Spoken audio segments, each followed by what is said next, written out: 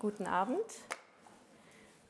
meine lieben Damen und Herren, liebe Gäste hier im Körperforum und liebe Zuschauer am Livestream an den Bildschirmen. Gestern, am 27. Januar, vor genau 74 Jahren, hat die Rote Armee das Konzentrations- und Vernichtungslager Auschwitz befreit. Das Lager, das die nationalsozialistischen Besatzer 1940 in dem von ihm, ihnen besetzten Polen errichteten und die dort verübten Verbrechen, beides wurde zum Symbol des Holocaust. Seit 1996, erst seit 1996 möchte ich sagen, ist der 27. Januar, also der gestrige Sonntag in Deutschland als bundesweiter Gedenk- und Erinnerungstag gesetzlich verankert. Und im Jahr 2005, erst im Jahr 2005, erklärten die Vereinten Nationen den 27. Januar zum Internationalen Tag des Gedenkens an die Opfer des Holocaust. Dieser internationale Aspekt des Gedenkens und der Erinnerung ist es auch, der im Mittelpunkt unseres heutigen Abends hier im Körperforum steht. Wir wollen den Abend nutzen, um über Chancen und Grenzen einer gemeinsamen europäischen Erinnerung an den Holocaust zu sprechen. Und wir wollen darüber diskutieren, welche Rolle die Erinnerung an nationalsozialistische Gewaltgeschichte und deren Opfer für den Dialog zwischen Deutschland und den Deutschen mit ihren mittel- und osteuropäischen Nachbarn spielen kann. Es geht uns also um die historische Dimension unserer europäischen Identitäten und den Beitrag, den eine grenzübergreifende Erinnerung an den Holocaust dazu leisten kann. Mit dem Begriff grenzübergreifend und Grenze meine ich nicht nur die klassische Definition geografischer Grenzen, sondern es geht auch um die ideologischen und kulturellen Grenzen, die bei einer gemeinsamen Erinnerung zu überwinden sind. Denn heute, 74 Jahre nach Auschwitz ist der Umgang mit dem Erbe von Nationalsozialismus und Holocaust in einer Weise politisiert oder wieder bewaffnet worden, wie es beispielsweise 2005, 60 Jahre nach Ende des Zweiten Weltkrieges, zumindest aus meiner Sicht kaum vorstellbar schien.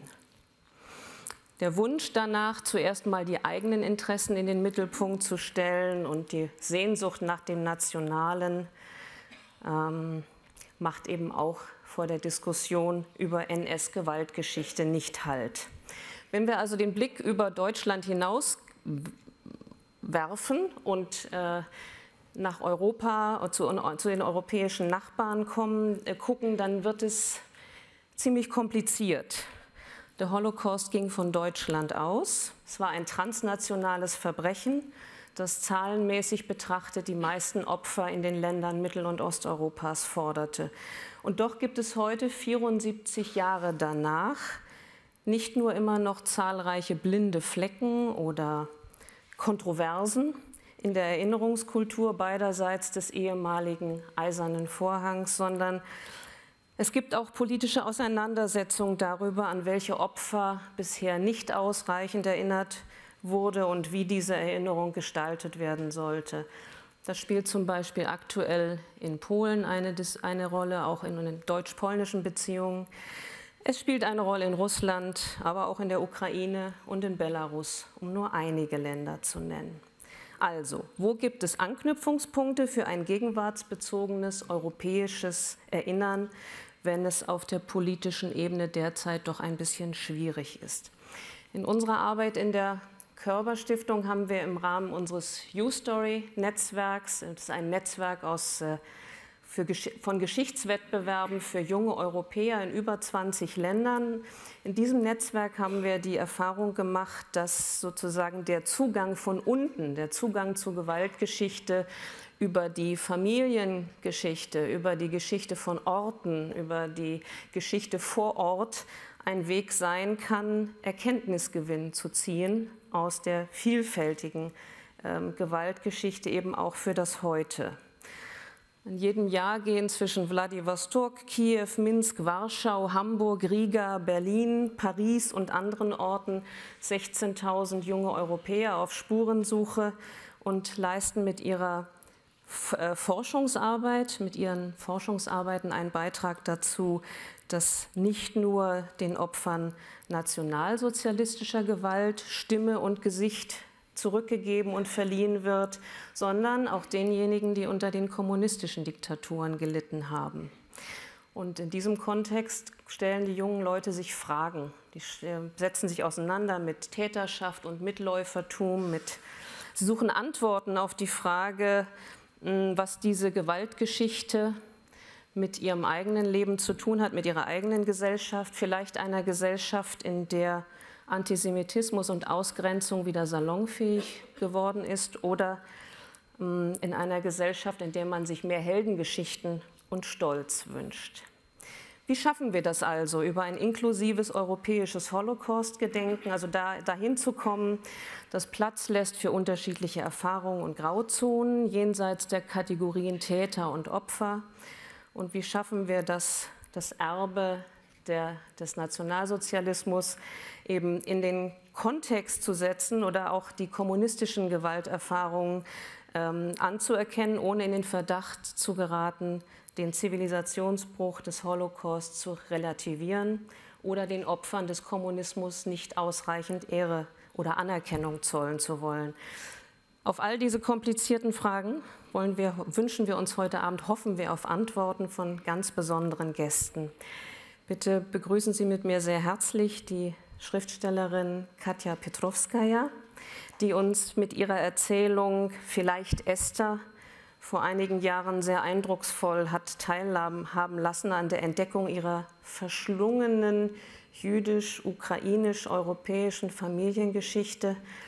Ähm, biografisch sehr interessant, in Kiew geboren, in Estland Literaturwissenschaft studiert, in Moskau promoviert, eine ganz normale europäisch-sowjetische Biografie.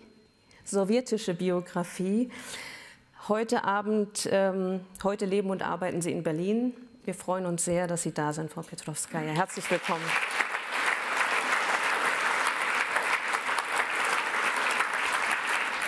Unser zweiter Gast, der Historiker Dan Diener, Professor Emeritus für moderne Geschichte an der Hebräischen Universität Jerusalem, bis 2014 Direktor des Simon Dubnow Instituts für jüdische Geschichte und Kultur in Leipzig und Leiter eines großen europäischen Forschungsverbunds, der sich mit Erfahrung und Deutung der Geschichte des Zweiten Weltkriegs im Kontext von Globalisierung beschäftigt.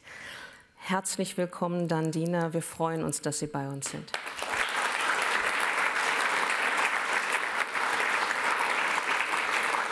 Und zu guter Letzt, der Abend wird moderiert von Martin Dörri, dem ehemaligen stellvertretenden Chefredakteur und Autoren des Spiegels, selbst als Autor und Publizist sehr viel unterwegs mit dem Buch, mit seinem Buch Mein verwundetes Herz das kennen vielleicht einige von Ihnen. Das war der Briefwechsel seiner Großmutter Lilian, einer von den Nationalsozialisten ermordeten jüdischen Ärztin.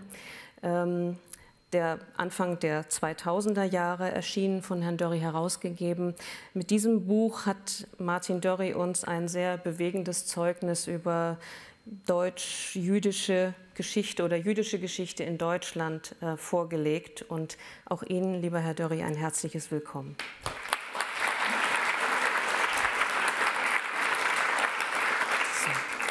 Am Ende der Diskussion werden Sie die Gelegenheit bekommen, Fragen zu stellen, können sich schon mal innerlich vorbereiten.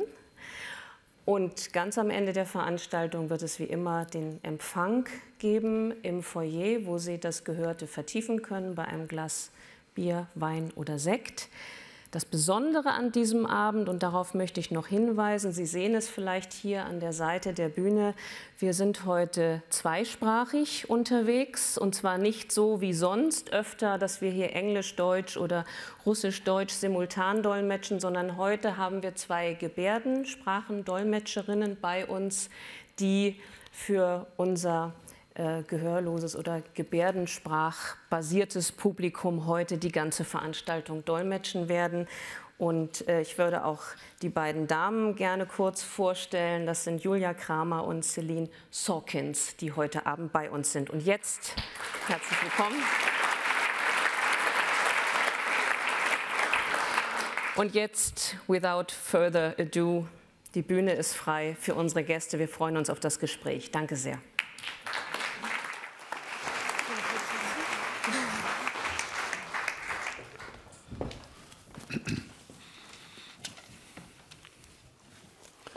Ja, meine Damen und Herren, auch ich möchte Sie sehr herzlich begrüßen. Die Veranstaltung hat den schönen Titel Europa erinnert an den Holocaust. Ähm, schön wäre es, könnte man sagen. Europa sollte sich an den Holocaust erinnern, wäre vielleicht der bessere Titel. Aber wir erinnern uns heute daran und wir reden darüber, wie das in Europa geschieht oder geschehen sollte, wie dieses Gedenken aussieht, wie wir uns erinnern sollen. Das sind ziemlich schwierige Themen. Wir wollen das nicht nur auf Deutschland beschränken und damit wird es noch schwieriger, also nicht nur auf unseren eigenen Erfahrungsraum, sondern auf ganz Europa und äh, ganz besonders auf Osteuropa. Denn Osteuropa ist jene Region, wo die wichtigsten Schauplätze dieses Verbrechens lagen. In der Bundesrepublik gehört die Erinnerung an den Holocaust, wie wir wissen, inzwischen sozusagen zur Staatsräson. Aber auch das war nicht immer so. In den 50er und 60er Jahren wurde das Thema klein gehalten, verdrängt, kaum beachtet und erst kürzlich, Sie haben das vielleicht verfolgt, lief im Fernsehen diese Serie Holocaust, äh, die 1979 dann ins deutsche, westdeutsche Fernsehen kam und äh, damit so eine erste Welle, kann man sagen, der Auseinandersetzung mit diesem Thema angestoßen hat. Das ist tatsächlich der Anfang, glaube ich, gewesen einer neuen Erinnerungskultur, über den Begriff, werden wir nachher noch reden, ähm, einer neuen Erinnerungskultur, die uns bis heute beschäftigt. Und äh, wie es der Zufall so will, genau 20 Jahre später sind Sie, Frau Petrowskaja, nach Deutschland gekommen. 1999 habe ich gelesen. Und ähm, Sie sollen auch sozusagen den Anfang machen und uns sagen, wie dieses Deutschland damals aussah, das Sie vor nun genau 20 Jahren wiederum gekommen sind. Ähm, wie ging Deutschland aus Ihrer Sicht als jemand, der von draußen reingekommen ist, mit diesem Thema damals um? Äh, ich wollte zuerst sagen, dass, äh, vielen Dank für die Frage, vielen Dank für die Einladung. Ich wollte zuerst sagen, dass 27. Januar ist nicht nur Befreiung von Auschwitz. Ähm, ich bin mit anderen Datum groß geworden, zwar das ist äh, Beendung von Leningrad-Blockade und das ist wirklich ein unglaublicher Zufall. Ähm, das ist erstens. Zweitens, ähm, wir merken heute alle, wie schwierig und wie kompliziert es ist, äh, darüber zu reden. Also einerseits, es bleibt im Bereich von äh, privaten menschlichen Erschütterungen. Andererseits gibt es diese flotte Gewohnheit, äh, darüber zu reden, also diese schönen Titel zu schreiben und so weiter. Und eigentlich, ich hoffe, es wird auch ähm, Teil unseres Gespräches heute, was wir mit dieser Sprache überhaupt machen sollen. Äh, als ich nach Deutschland gekommen bin, war für mich das Thema Gulag eigentlich viel größer als Holocaust. Und das muss man sich auch bedenken. Also, und es hatte auch was eigentlich damit zu tun, dass ich in einer Familie groß geworden bin, für die eher Narrativ von den anderen wichtiger ist für die Formung von eigenen Gewissen. Es bedeutet, eigentlich, meine Eltern sollten mir äh, nur über Holocaust äh, äh, erzählen, weil auch äh, Teile von ihren Familien äh, umgekommen sind. Also sie haben mir viel mehr über die anderen äh, erzählt ähm, und auch Narrativen von Polen, von Repressierten in Steinzeit und so weiter. Also das, das, muss man sich bedenken. Deswegen, als ich Deutschland konfrontiert habe und ähm, gesehen habe, dass es auf den, auf den äh, institutionellen, staatlichen Ebenen eigentlich geklärt ist. Also sagen wir jetzt grob, also für einen unschuldigen äh, ex-sowjetischen Mensch äh, dieser, dieser Konsensus über Gut und Böse, über einen gewissen Wir, also das hat mich besonders erschüttert, dass, dass die Leute, die nicht damals geboren sind, dass die Menschen, die eigentlich aus ganz anderen historischen Narrativen oder Herkunften stammen, hatten diese Wir benutzt. Und, in welcher Hinsicht? Ähm, bezüglich Wir als Schuldige? Dem, oder? Äh, also äh, Schuld, das ist auch so ein, ein Wort, was eine unglaubliche Inflation erlebt hat. Ähm, ähm, also es geht nicht um Schuld, es geht um äh, Verantwortlichkeit für den Raum, in welchem man lebt. Ja, also ich würde das eher in, in diese Richtung drehen. Und äh, ich damals mit meinen schon ähm, verlorenen äh, Traum von postsowjetischem Leben, wo, äh, in dem es vielleicht gelingen würde, ähm, wir zu sagen und zu sagen, wir sind verantwortlich für dafür, was in der Sowjetunion äh, passiert ist. Wir alle sind verantwortlich für äh, sowjetische Geschichte. Nicht die Juden, nicht die Litauer, ähm, nicht die Ukrainer, nicht die Russen übrigens, ähm, weil in verschiedenen Ländern gibt es auch diese Theorie, dass äh, Russen äh, gemischt mit Juden wie Überirdische gelandet sind und äh, also zum Beispiel Holodomor eingerichtet. Es ist alles viel, viel komplizierter.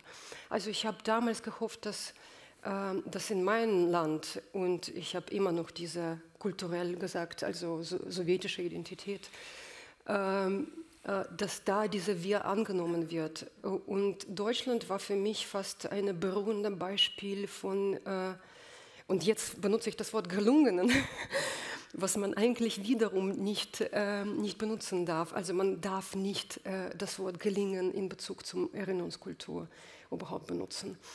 Aber als menschliche Haltung, als menschliche Haltung von vielen Menschen, äh, das war für mich unglaublich. Und zwar wirklich menschliche Haltung, nicht von Intelligenz wie bei uns, also Intelligenz und Gewissen eigentlich äh, das war bei uns ganz klar, dass, äh, dass, äh, äh, dass die ähm, aufgeklärt wurden.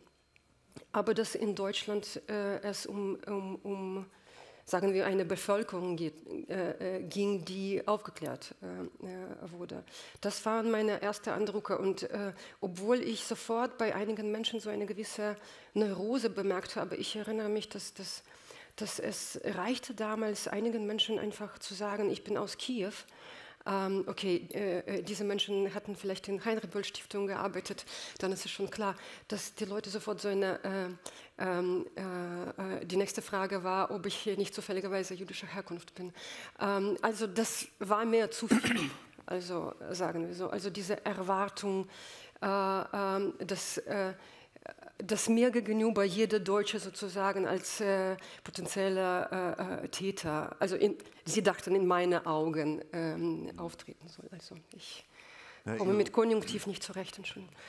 Ähm, ja. Mm. Ihre Urgroßeltern sind ja in Babi Yar umgebracht worden, also von, so habe ich es jedenfalls äh, entnommen, war es nicht so, dann korrigieren Sie mich.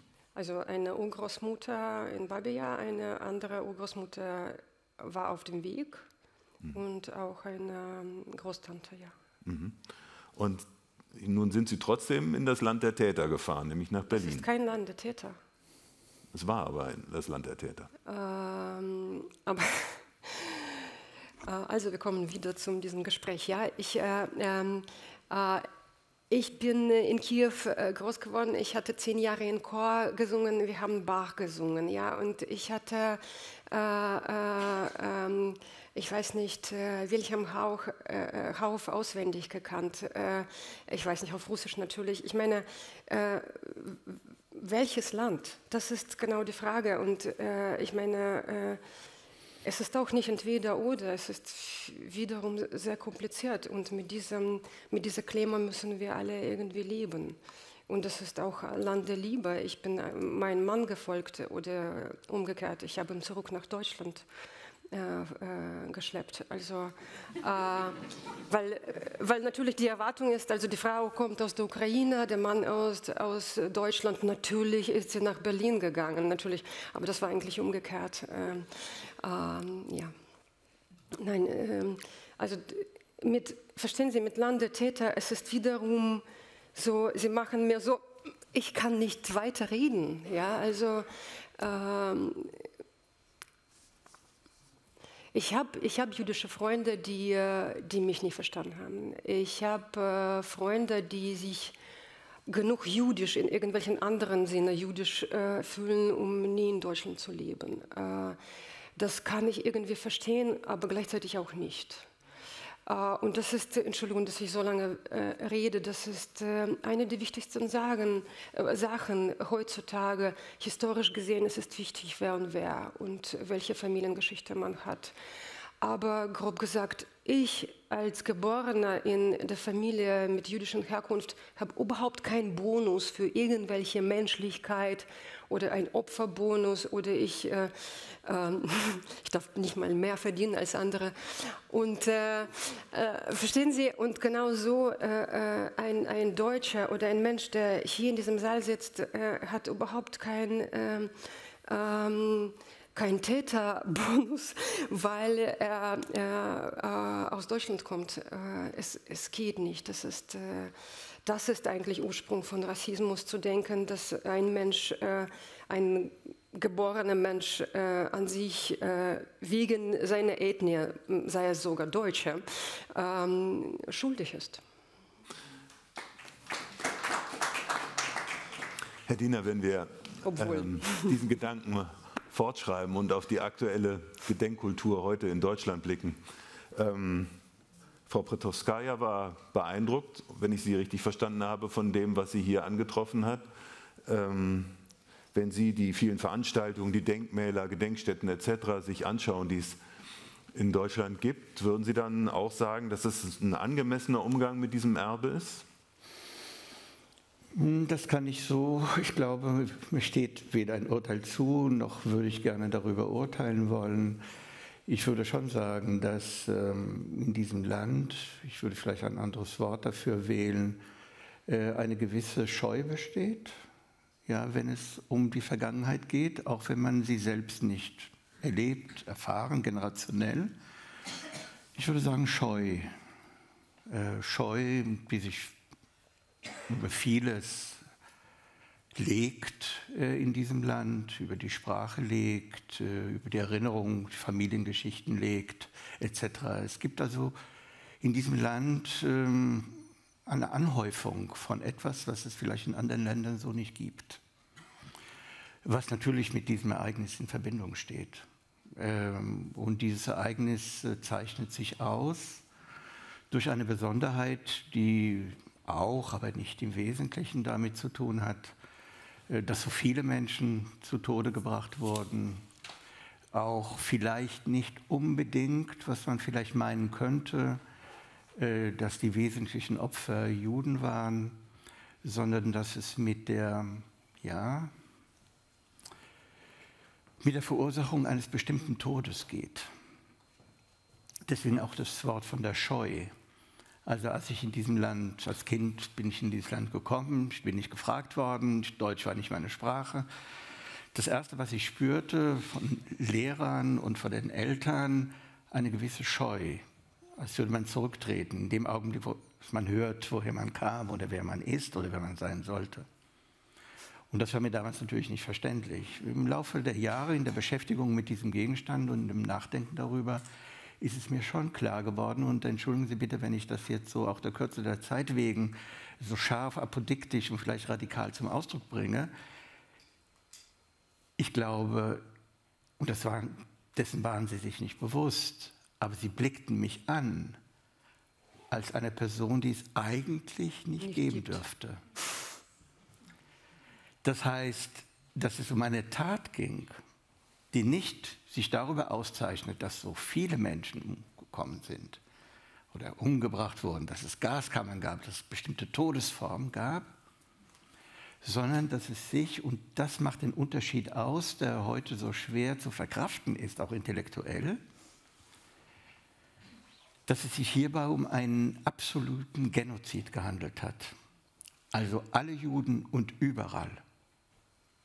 Nicht ein Massaker, in dem eine Armeeeinheit durchdreht, ja, sagen wir My Lai in Vietnam, Wir wissen das, ich sehe die Köpfe. Ja. Oder genozidale Handlungen, wie etwa der polnischen Bevölkerung gegenüber im Zweiten Weltkrieg. Sondern etwas anderes, also was die Unterscheidung zwischen Tod und Tod, was uns, ich würde sagen, ethisch und moralisch widerstrebt, eine derartige Unterscheidung zu treffen. Dass es sie offensichtlich, dass dies offensichtlich mit dieser besonderen Tat in Verbindung steht. Ich möchte Sie jetzt nicht langweilen mit Beispielen, aber diese paar tausend Juden in Norwegen, die sozusagen einzeln ja, gesucht, gefunden wurden, um sie nach Auschwitz zu karren. Oder im Juli 44, Juli 44 die Juden von Rhodos, zwei Monate vor dem deutschen Rückzug aus dem Balkan, war alles schon vorbei, auf Bark nach Piräus und in Zügen nach Auschwitz in die Gaskammern. Irgendwie hat es mit dieser Art des Todes etwas zu tun. Das ist ein anderer Tod.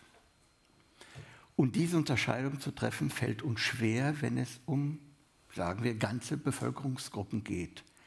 Im innerstaatlichen Verhältnis würden wir das als selbstverständlich ansehen. Aber selbstverständlich, jeder Kriminalroman, gut oder schlecht, beginnt sozusagen mit der Leiche, die man vorfindet. Aber da beginnt ja die Geschichte. Wer, warum, in welcher Form. Und wir unterscheiden dann zwischen Mord und Totschlag und Notwehr und putative Notwehr und, Fahr und so weiter. Wir wissen sehr wohl zu unterscheiden zwischen Tod und Tod. Unser moralisches System reagiert auch so, unmittelbar. Ob es die Neugier ist oder wie auch immer, beim Tatort oder wenn wir auf etwas stoßen, wir reagieren. Es gibt so etwas wie eine innere Ethik. Und ich glaube, dass es diese Art des Todes war, die sich wie Mehltau über die Gesellschaft gelegt hat. Und damit kommen wir vielleicht näher, was Ihre Frage angeht. Legt sich natürlich über das alles, was mit Deutsch und Deutschland in Verbindung steht. Als würde sozusagen die Zugehörigkeit zu Deutschland kontaminiert sein von den Verbrechen der Nationalsozialisten. Und das macht im Übrigen, wenn ich das sagen darf, auch den Unterschied aus. Mein Vater war als polnischer Kriegsgefangener im sowjetischen Gulag, der war in den ganzen Lagern. Und dann ist mir klar geworden, weil er dort war, ist er am Leben geblieben. Ja. Weil er, weil der Tod dort, ja, also der Tod in den Lagern dem Zufall geschuldet war, während das Überleben unter deutscher Herrschaft dem Zufall geschuldet war weil es die Regel war. Diese Unterscheidungen, ja, die eigentlich Gefühlsunterscheidungen sind, das ist keine Bewegung jetzt des intellektuellen Apparats, ja, das ist jetzt kein Proseminar in Philosophie, sondern die Regungen, die Scheu der Lehrer von mir, ich habe das nicht ganz verstanden. Ja. Heute würde ich sagen, es lag Mehltau über allem. Ja, es war sozusagen kontaminiert. Und das macht den Unterschied aus, sagen wir, zwischen den Massenverbrechen in der vormaligen Sowjetunion unter Stalins Herrschaft, ja, dass jeder Opfer sein konnte, ja, dass Menschen, die in den Sicherheitsapparaten, NKWD oder GPU andere zu tausend zu Tode gebracht haben mit Genickschüssen und anderer Form, und nach einem halben Jahr sie selbst hm. Opfer der Maschinerie wurde, an was soll jetzt die Familie denken? War der Vater oder der Großvater Opfer? War der Täter? Können wir das überhaupt können wir unterscheiden? Und am Schluss können wir nicht dort unterscheiden. Was ist die Folge? Im Unterschied zu Deutschland? Es ist kein Gegenstand des Gedenkens. Es ist nicht ritualisierbar. In Deutschland ist es ritualisierbar. Und ist dieses Ritual ein leeres Ritual heute oder ist es eines, was mit Inhalt gefüllt ist? Ich würde mich eines Urteils mich hüten, weil also ich bin, Sie können sich natürlich vorstellen, dass ich kein Teil des Rituals sein kann. Ja. Also habe ich eine Distanz zum Ritual ohnehin. Ich beobachte das Ritual eher mit den Augen eines Anthropologen. Was passiert? Ja. Wie reagieren die Menschen? Das Wort Ritual sagt ja zwei Dinge. Es hat eine, eine religiöse Bedeutung, ja, aber es hat auch die Bedeutung der leeren Wiederholung. Ja. Lehren? Lehren wiederholen, ein Ritual. Ich tue etwas ganz Bestimmtes, ohne nachzudenken. Ich sage, naja, das ist ein Ritual. Ich frage die Person, warum machen Sie das? Naja, ich weiß es nicht. Das ist halt so, das haben wir immer so gemacht. Würden Sie denn sagen, dass die Erinnerungen an den Holocaust in Deutschland dann ein Ritual in dem Sinne sind? Nein, ich wäre wär vorsichtig. Ich würde sagen, ich weiß nicht, ob man ganz von Deutschland sprechen kann. Heute wissen wir ja, dass es Unterscheidungen gibt zwischen Ost- und Westdeutschland, was diese Dinge angeht. Aber ich denke, dass es auch sehr, sehr stark mit Familiengeschichte zu tun hat. Nicht jeder empfindet gleich. Ja?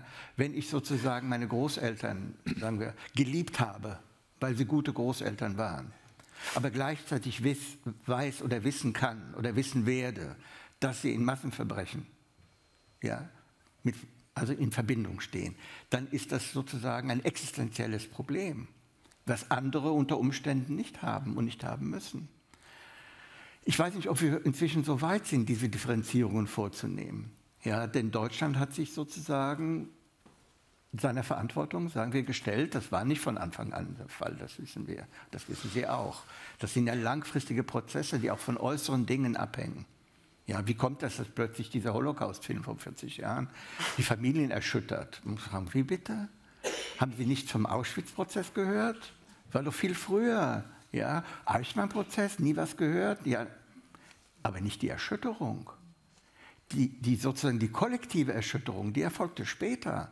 Erklärungen gibt es viele, da würde ich Sie jetzt nicht langweilen wollen. Allein generational die Verschiebung ja, zwischen dem Auschwitz-Prozess und dem Holocaust-Film. Ja, allein generationell und vieles andere mehr. Ich würde sagen, ich in meiner Sprache, in der Beschreibung dieser Dinge begreife ich den Holocaust im engeren Sinne, der Holocaust im engeren Sinne, nicht 33, nicht 35, nicht 38, nicht 39, sondern 42 oder wenn man in der Sowjetunion wäre 41. Aber wenn es um die Massenvernichtung geht, die organisierte, industrielle 42 bis Herbst 44, eine unglaublich kurze Zeit. Und diese unglaublich kurze Zeit zieht eine gewaltige Zeit in ihren Bann. Ja, sie kontaminiert die Vergangenheit, die davor liegt, und sie kontaminiert die Zukunft. Insofern, anthropologisch ist es wie eine gestaute Zeit. Ja? die alles an sich zieht. Ich denke, das hat mit der Sache selbst zu tun. Das hat mit dieser besonderen Form Tod, des Todes, des Veranlassten, des Verursachten und des erfahrenen Todes zu tun. Nun hat sie ja die, Sie haben eben das Jahr 79 nochmal erwähnt, also die Zeit, in der diese Serie Holocaust ausgestrahlt worden ist und die Menschen erschüttert hat. Und ich stimme Ihnen zu, man hätte eigentlich auch schon bei den Auschwitz-Prozessen in Frankfurt erschüttert sein können, aber es haben eben viele nicht wahrgenommen oder wahrnehmen können. Äh, das lässt sich wahrscheinlich mit manchen Thesen erklären, aber so ganz sicher wissen wir das nicht. Wir wissen nur, seit 1979 hat sich die Stimmung in dieser Gesellschaft verändert und es hält auch an, sicherlich jedenfalls in Teilen der Gesellschaft. Und dennoch ist ja zumindest aus Sicht vieler Menschen, glaube ich, in den letzten Jahren etwas eingetreten, was uns alle sehr beunruhigt, dass bestimmte Phänomene, die einige Jahrzehnte hier nicht offen zutage getreten sind, also zum Beispiel der Antisemitismus, wieder deutlicher zutage treten. Dass es wieder deutlicher bemerkbar ist, dass man sich auch dazu bekennt, dass im Internet viele Bekenntnisse dieser Art zu lesen sind, aber auch in den Parteien auf einmal auftauchen, bei der AfD, um ganz konkret zu sein, tauchen auf einmal antisemitische Sätze, Andeutungen, Gedanken auf. Ähm, war das nur unterdrückt oder hat sich etwas verändert in unserer Gesellschaft? Fragen Sie mich? Natürlich. Erstmal Sie. Wissen Sie, wir sind hier ein großer kleiner Kreis, also äh, vielleicht nicht etwas, was man schreiben würde. Äh, ich habe kein Urteil darüber, ob der Antisemitismus zugenommen hat. Es wird Sie vielleicht verwundern. Ich meine, es gibt so vieles und die Statistiken weisen ungeheuer, Ungeheures auf. Ich bin mir nicht sicher. Denn wir haben es mit einem Problem zu tun, das weit darüber hinausgeht. Schauen Sie mal, ich spreche jetzt von unserer digitalen ja, Welt, von Algorithmen und all das, was unser Leben bestimmt. Wir können ja nicht mehr unterscheiden, was noch intim, privat und öffentlich ist. Diese Unterscheidung ist gar nicht mehr möglich. Und was jetzt passiert, ist das sozusagen, was früher vielleicht im Intimen verpuppt war, ja, und in der Dunkelheit des Internets sich Ausdruck geben kann und die Person in der Anonymität bleiben kann, dass wir mit ganz anderen Formen sozusagen der Entäußerung konfrontiert sind. Früher sind die Leute auf, auf Zehenspitzen gegangen. Sie haben geflüstert. Ja, das war die Form des Ausdrucks, wenn man so will. Ja, oder in Form, sagen wir, eines, einer Verschriftlichung, ja, kodiert. Heute finden Sie das sozusagen in roher Form. Heißt es, dass es jetzt mehr ist? Wenn Sie fragen, war es früher auch so, würde ich sagen, angelegt war das früher auch. Äußert es sich heute mehr als früher? Ja, mit Sicherheit. Aber vielleicht aus Gründen, die früher. Wer wird denn heute noch dafür in irgendeiner Weise, sagen wir, öffentlich unmittelbar in seiner Nähe belangt? Ja, wenn er in seinem, vor, seinem, vor seinem Rechner sitzt ja, und gleichzeitig ganz bestimmte Dinge in die Welt setzt. Ich denke, dass diese Dinge eine Rolle spielen. Und natürlich das allerletzte, und das ist viel, viel wichtiger vielleicht noch. Und das hat auch was mit Europa zu tun. Das Europaprojekt war für Deutschland, für die Bundesrepublik, für die alte Bundesrepublik Deutschland ein Projekt der Neutralisierung des eigenen Gedächtnisses und der eigenen Geschichte. Es war ein Neutralisierungsprojekt. Und diese Neutralisierung ist gegenwärtig in einem Zerfall begriffen. Betrifft nicht nur Deutschland, betrifft ja alle. Schauen Sie was in dem Brexit an, was da passiert. Undenkbar in einem Land angelsächsischer Kultur. Undenkbar. Schauen Sie, was in Polen passiert. Schauen Sie, wie Frankreich mit seiner Vergangenheit umgeht, zwischen Vichy und, und Algerien sozusagen zu stehen. Ja? Immer noch. Mit all dem, was passiert. Das heißt, diese Geschichte ist nicht zu Ende. Ja? Äh, wir arbeiten uns immer wieder an sie ab, eine Generation nach der anderen Generation. Es geht weiter, weil es sich um nochmal diese anthropologische Formulierung zu wählen, um eine gestaute Zeit handelt. Ja.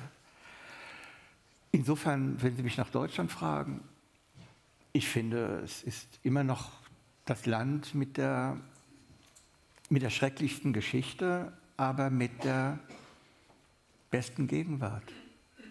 Trotz Formulierungen wie die NS-Zeit sei ein Fliegenschiss der Geschichte. Ich würde sagen, das wurde früher auch gesagt, vielleicht in einer anderen Form. Ich würde sagen, dass das, was, was es sich heute äußert, ist natürlich alles, was sich im öffentlichen Raum bewegt, also aus dem intimen Bereich in den öffentlichen Raum geht, ist ein Problem, dass es möglich ist. Würde ich sagen, das sind alles, das sind Dinge, auf die man sehr zu achten hat. Aber mein Gefühl ist oder mein Eindruck ist, und vielleicht täusche ich mich, aber ich glaube nicht. Ich glaube, ich habe eine lange bundesrepublikanische und eine deutsche Erfahrung, dass ich sagen kann, ich glaube, dass Deutschland gefestigter ist als andere Staaten. Frau Petowskaja, ist denn Ihnen so etwas wie Antisemitismus widerfahren, Frau Petowskaja? Nein. Gar nicht. Das hat sich also auch gar nicht verändert in den letzten Jahren. Culpa. Nein, nein, das ist ja, ist ja auch mal eine gute Nachricht. Also kann es sein, dass es medial überbewertet wird? Würden Sie das sagen? Ähm, ich, ich kann auch mich nicht darüber äußern, ehrlich gesagt. Und ich war eher in, ähm, mit ähm, neuesten russisch-ukrainischen Krieg mehr beschäftigt und deswegen war ich für eine Gruppe eher so äh, pro Putin und für die andere äh, ukrainische Faschistin. Deswegen, also ich hatte dann äh, diese, das war plötzlich nicht so wichtig und äh, wir vergessen, dass das in einigen, äh, in einigen menschlichen Konflikten äh, äh, Antisemitismus nicht Nummer eins ist. Also es gibt auch andere Dinge auf der Welt.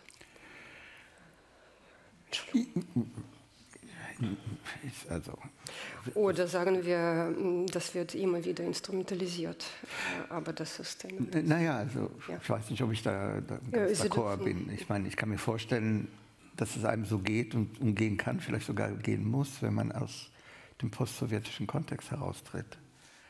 äh, dann, ist, dann leuchtet hier natürlich die Sonne, das ist gar keine Frage. Äh, Danke. Bitte? Danke. Nein, nein, es ist nur eine Feststellung, es ist kein, kein Urteil. Aber ich meine, man kann beunruhigt sein, aber ich würde das vielleicht weniger auf dieser, sagen wir, sehr konkreten deutschen Ebene auffassen, sondern auf einer internationalen, globalen Ebene. Dann würde ich sagen, dass Dinge auftreten, von denen man meinte, dass sie nicht mehr auftreten können. Also, wenn Sie mir erlauben, vielleicht zwei Argumente zu führen, um das deutlich zu machen. Äh, Trump ist nicht äh, die Nemesis von Obama, als die er sich äh, versteht. Trump ist die Nemesis von Roosevelt. Ja? Roosevelt hat die Vereinigten Staaten zum Glück in den Zweiten Weltkrieg geführt. Er hat die internationalen Organisationen aufgebaut, die UNO, der Internationale Weltwährungsfonds, alles, alles, was wir kennen. Wenn man nach Amerika schaut in den 30er Jahren und 20er Jahren, dann das, war das ein problematisches Land, was jüdische Existenz anging. Und dass heute Dinge aufbrechen können in einem Land, von dem man den Eindruck hat und sich immer darauf verlassen hat, dass es die letzte Instanz dessen ist, dass so etwas möglich ist, wie etwa in Pittsburgh in der Synagoge, ja, dass die amerikanischen Juden plötzlich zum ersten Mal in ihrer gesamten Geschichte sagen, hoppla, wir sind uns nicht mehr so sicher, ob wir in Amerika dem sichersten Ort überhaupt sicher sind.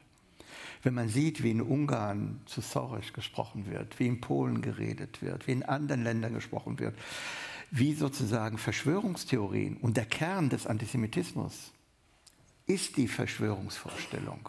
Das ist es. Nicht die sichtbaren Juden sind das Problem der Antisemiten. Die unsichtbaren Juden sind das Problem, die vermeintlich unsichtbaren Juden. Antisemitismus ist eine Weltanschauung. Antisemitismus ist nicht Rassismus. Es ist was ganz, ganz anderes, was sehr schwer zu vermitteln ist, ich weiß.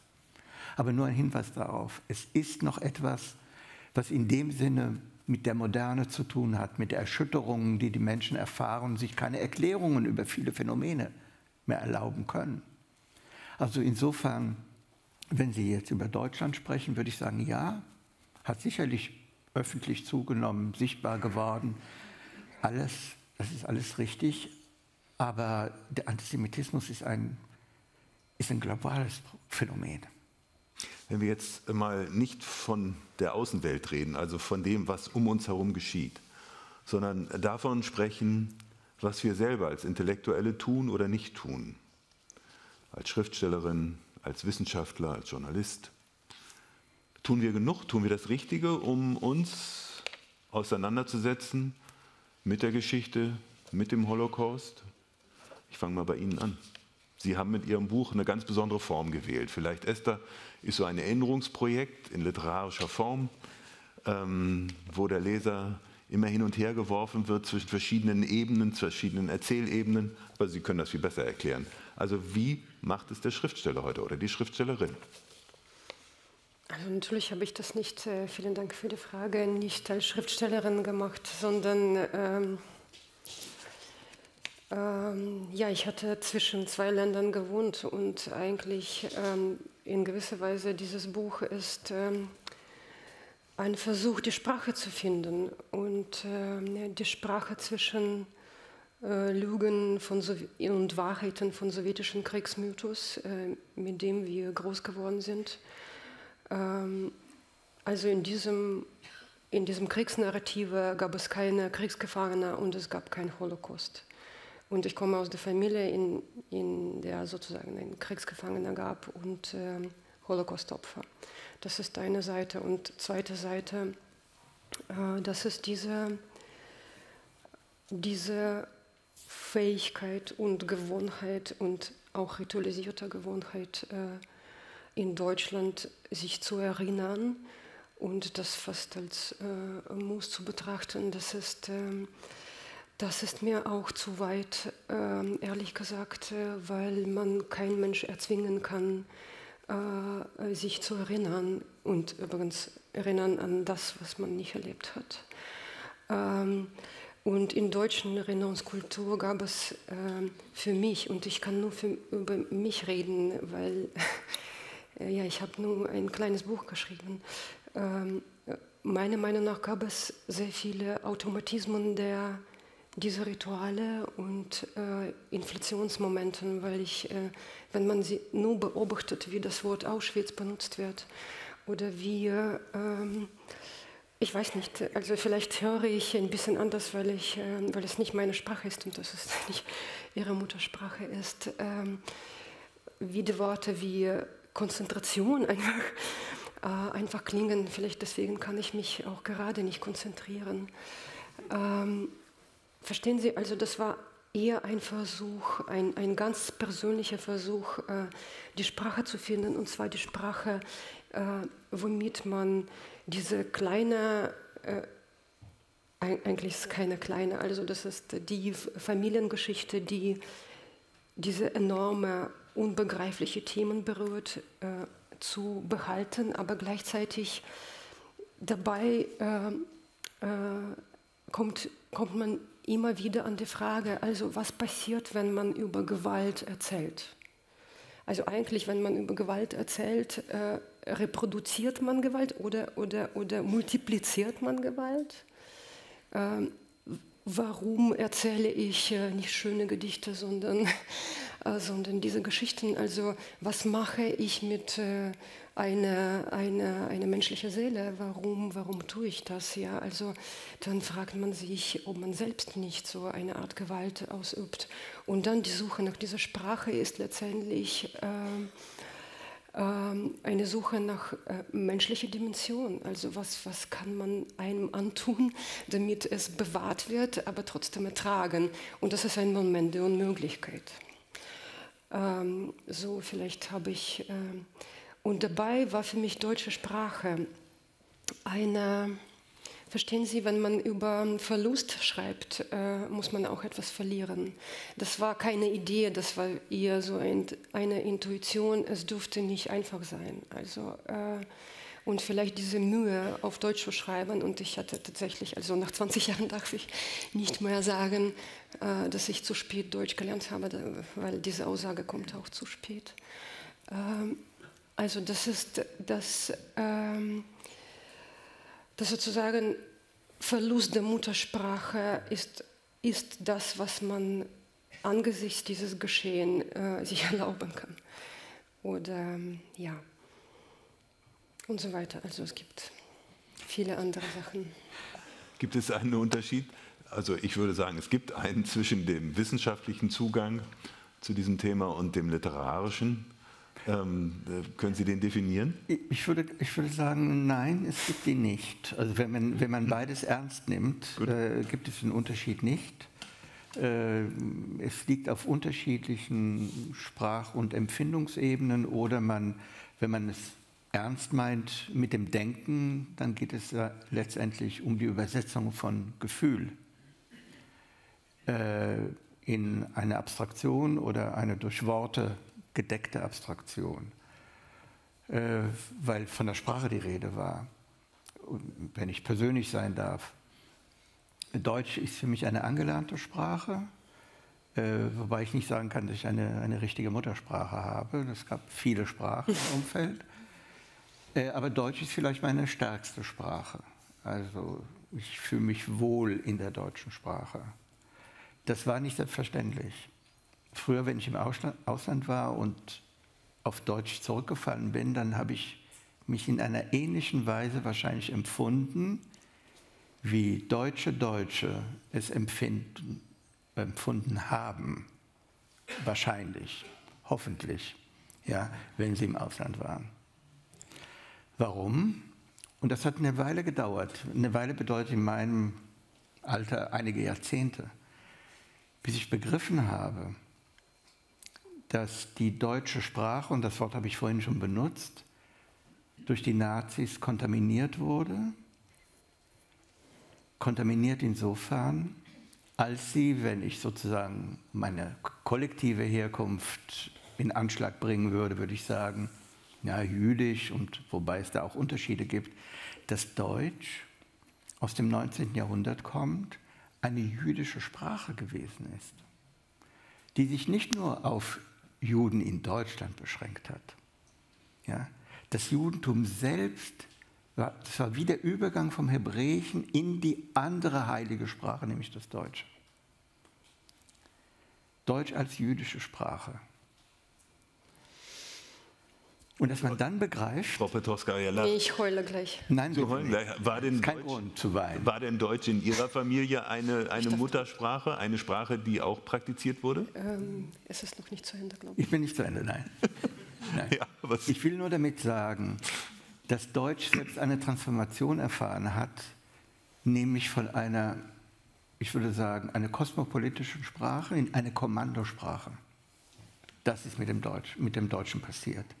Und das Deutsche braucht sehr lange, lange Zeit, um sich sozusagen von der Kommandotönung zu befreien.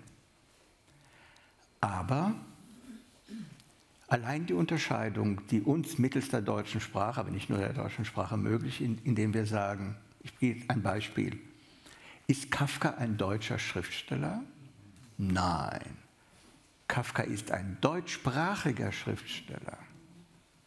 Und dann erweitert sich der Raum, erweitert sich enorm. Und auch die deutsche Sprache erweitert sich enorm. Ja? Sozusagen ihre Atemfähigkeit wird immer größer und weiter. Ja? Das sind die Konstellationen, um die es geht, wenn, sagen wir, dieses beides, beide Elemente des Deutschen ja, durch, von den Nazis kontaminiert ja, und ein, eigentlich eine universelle Sprache mit ihrer unglaublich reichen Idiomatik. Ja. Also da bewegt man sich, dazwischen bewegt man sich. Ist das intellektuell, akademisch? Ich weiß es nicht. Wenn ich das übersetze in meine, sagen wir, sogenannte Wissenschaftssprache, dann finde ich dafür schon das richtige Vokabular. Ja. Aber der Ursprung ist ein Empfinden. Ja. Wenn ich etwas höre, die Intonation, ja, wenn ich weiß, dass im Deutschen dann die Frage der Mündlichkeit und der Schriftlichkeit noch viel weiter auseinandergeht als in anderen Sprachen. Denn beim Mündlichen hört man noch andere Stimmen. Ja? Man hört den Volksempfänger quäken. Ja? In der Schriftlichkeit ist es wieder was anderes und, und, und. Aber insofern, ich komme immer wieder auf dasselbe zurück. Das ist die Form der Affizierung. Ja? So, Jetzt möchte Frau Patrowska. Ja, aber es ist so schön, Ihnen zu hören, zu, zu hören dass ich ähm, lieber schweige. Nein, nein. nein. Ähm, also eigentlich, das war, wenn ich überhaupt irgendwelche Ambitionen hatte, mm, und ich hatte, äh, das war die deutsche Sprache, das war diese Art, ähm, verstehen Sie, die Unschuldigkeit der Sprache für sich wiederzuerstellen. Ähm, und deswegen habe ich das, dieses Buch eigentlich, das war Hauptgrund, warum ich dieses Buch auf Deutsch geschrieben habe. Ähm, also irgendwie meine Kindheit zwischen äh, diesen, äh, diesen Ausmaß von äh, sowjetischen Kriegsfilmen mit diesen äh, ähm, äh, mit, diesen, mit dieser deutsche, bellende deutsche Sprache und einerseits und andererseits diese 50 Übersetzungen von einem Gedicht äh, ins Russische von Heinrich Heine. Okay, äh, jetzt ist es kein, ähm, Entschuldigung, 33er Beispiel. Aber äh, verstehen Sie, äh, eigentlich Deutsch, äh, für mich war es ganz wichtig, diese Sprache zurückzuerobern und eigentlich äh, mit dem Wucht der sowjetischen Siegersprache sozusagen ähm, das ist einerseits Begriff deutschsprachige ist ein sehr einerseits öffner, andererseits, wenn man über Russ, russischsprachige Schriftsteller nachdenkt, dann das, ist es sofort antisemitisch. Das ist, das ist auch interessant, ja, ja, aber das ist eine, ein anderes Thema. Ähm, und eigentlich glaube ich, dass das ähm, heutzutage schon passiert, dass deutsche Sprache als Asylsprache verstanden wird, als alte Sprache, die jetzt sich wieder erweitert. Ich bin ein, ein nur bescheidener Beispiel eigentlich. Es gibt ganze Reihe äh, von Schriftstellern, die in Erwachsenenalter diese Sprache ähm, ausgewählt haben. Und das, ist, das hat für viele eine Mischung von sozialen, kulturellen und wirtschaftlichen Gründen. Es ist wirklich heutzutage, wenn man irgendwo in diesem Bereich lebt, einfacher ist, äh, äh, deutsche Schriftsteller zu werden, als einfach Schriftsteller zu werden. Das kann ich auch sagen. Äh, darf, ähm, ja, vielleicht so. Aber auf jeden Fall ist in gewisser Weise deutsche, deutsche Sprache äh, für Schriftsteller in eine ähnliche Situation wie die äh, äh, amerikanische in den 20er Jahren. Es gibt unglaublich viele Zuwanderer, es gibt unglaublich viele andere Narrative. Ähm, es, ist tatsächlich, es passiert tatsächlich etwas und es gibt äh, äh, Motivation dazu. Und was Sie gesagt haben über die deutsche ähm, Gegenwart, das ist genau, was jetzt äh, für die Sprache sehr gut wirkt. Hoffe ich auf jeden Fall. Ich habe so viele grammatikalische Fehler gemacht, dass es nicht so erscheint, aber ja. Hat denn in Ihrer Familie jemand Deutsch gesprochen? Nein, nein, nein. Also eigentlich. Sie kannten äh, es nur aus der Literatur? Äh, nein, ich habe einfach äh, leider sehr spät gelernt. Oder nur, ähm, Aber es war so eine bewusste Eroberung dieser Sprache? Ähm, also in meiner Familie hatten irgendwie vier Generationen, also noch meine Urgroßmutter hatte Jiddisch gesprochen, aber schon Großeltern äh, sehr wenig. Also sie waren begeisterte sowjetische Bolschewiken und äh, man wollte aus den Städten raus. Das ist die Sache. In der schöne russische Sprache rein. Ja. Ich komme nochmal zurück auf die Erinnerungskultur, so wie sie hier in Deutschland praktiziert wird. Es gibt Kritik daran und die lautet in etwa so, dass diese Erinnerungskultur sehr stark auch auf die westeuropäischen und mitteleuropäischen Opfer konzentriert ist. Das heißt, dass wir eigentlich Schicksale vor allem anschauen von Menschen, aus Deutschland insbesondere, die im Holocaust umgekommen sind und dass wir das, was in Osteuropa geschehen ist, jetzt also aus unserer Sicht vernachlässigen, dass wir die Opfer, die ja zu 98 Prozent die Opfer überhaupt ausmachten, nämlich die Osteuropäer, nicht im Blick haben. Diese Kritik hat der ungarische Historiker Ferenc Laszlo kürzlich in einem, wie ich finde, sehr interessanten Aufsatz äh, formuliert. Und ähm, er hat also dem Westen eine partielle Blindheit bei dieser Erinnerungskultur vorgeworfen. Können Sie das nachvollziehen, Herr Diener? Ich weiß nicht genau, was, äh, was er meinte mit dem, was er sagte.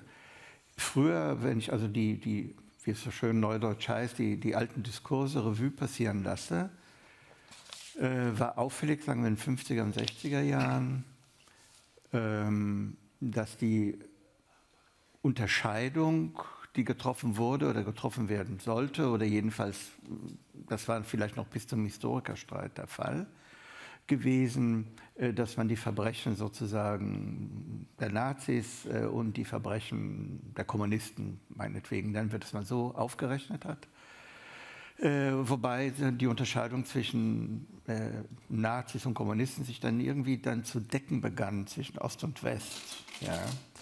Äh, und die, die Systemauseinandersetzung ja, das Ganze nochmal ähm, ja, verstärkte. Ja. Äh, meint jetzt der Autor die Opfer des Kommunismus in Osteuropa, des vormaligen politischen Osteuropa, ähm, dann würde ich sagen, naja, das ist ein Problem, das ich eingangs, worauf ich eingangs hingewiesen habe, ähm, dass die Erinnerungsfähigkeit den Verbrechen, die man anderen gegenüber ja, tut, eine andere ist als die nach innen. Nehmen wir, nehmen das Beispiel Ungarn, nehmen wir das Beispiel Polen oder nehmen auch was die vormalige Sowjetunion angeht. Oder wissen Sie was? Ich ziehe das mal in ein ganz anderes Gebiet hinein. Vielleicht durch die Verfremdung wird das noch deutlicher. Ähm, es gab ein ikonisches Ereignis in der europäischen Geschichte, meines Erachtens völlig überschätzt, aber immerhin für das Gedächtnis sehr, sehr wichtig, der spanische Bürgerkrieg. Ja, jeder, der irgendwie was auf sich hielt, hat dazu was geschrieben. Man hat sich damit beschäftigt. Das war eigentlich das, wenn man so will, das große Ereignis vor dem Großereignis.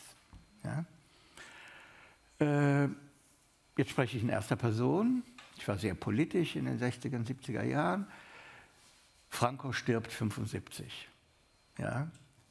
Wir atmen tief durch. So, jetzt wird über den spanischen Bürgerkrieg gesprochen. Kein Wort über den spanischen Bürgerkrieg.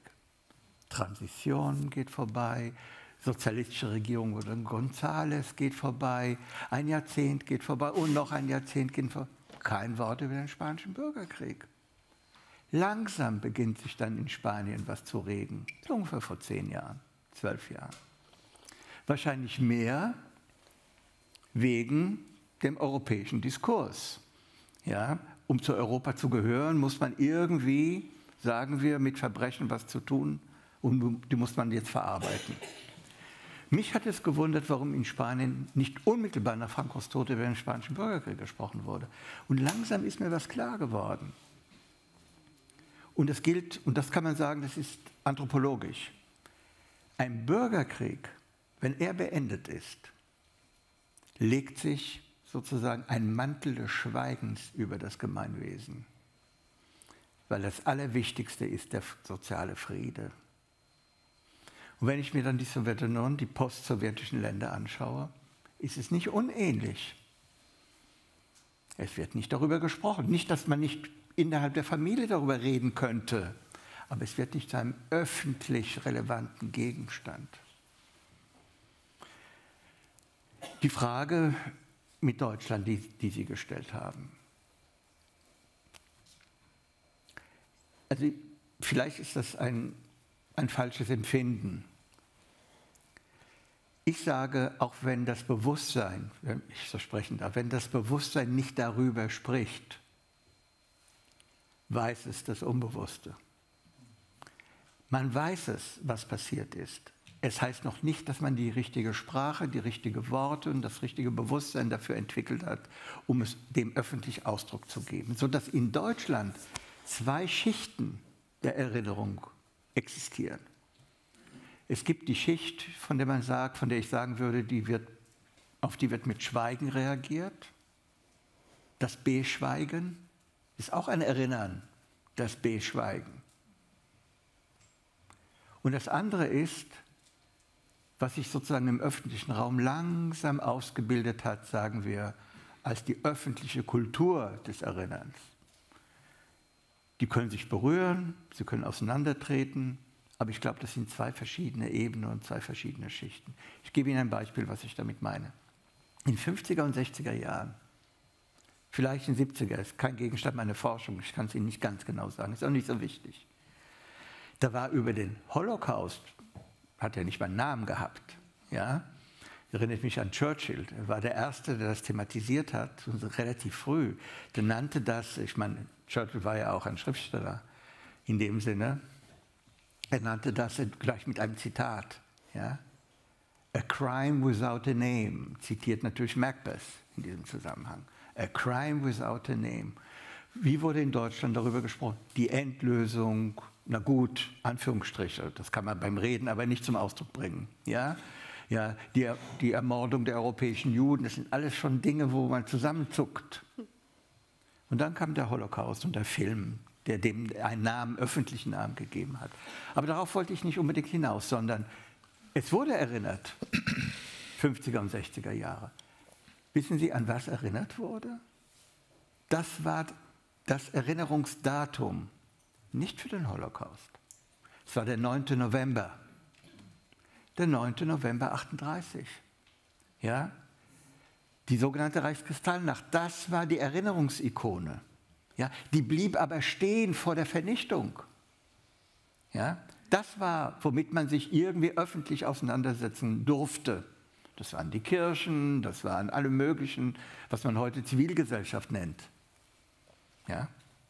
Hier und da hat natürlich die Länder, die Städte und so weiter das an sich gezogen und es öffentlich auch veranstaltet. Aber vom Holocaust, also von dem, sagen wir, vom, um was es heute geht, was uns heute näher ist, da versinkt ja der 9. November gleichsam. Ja? Insofern ist es eine Entwicklung, wenn man so will.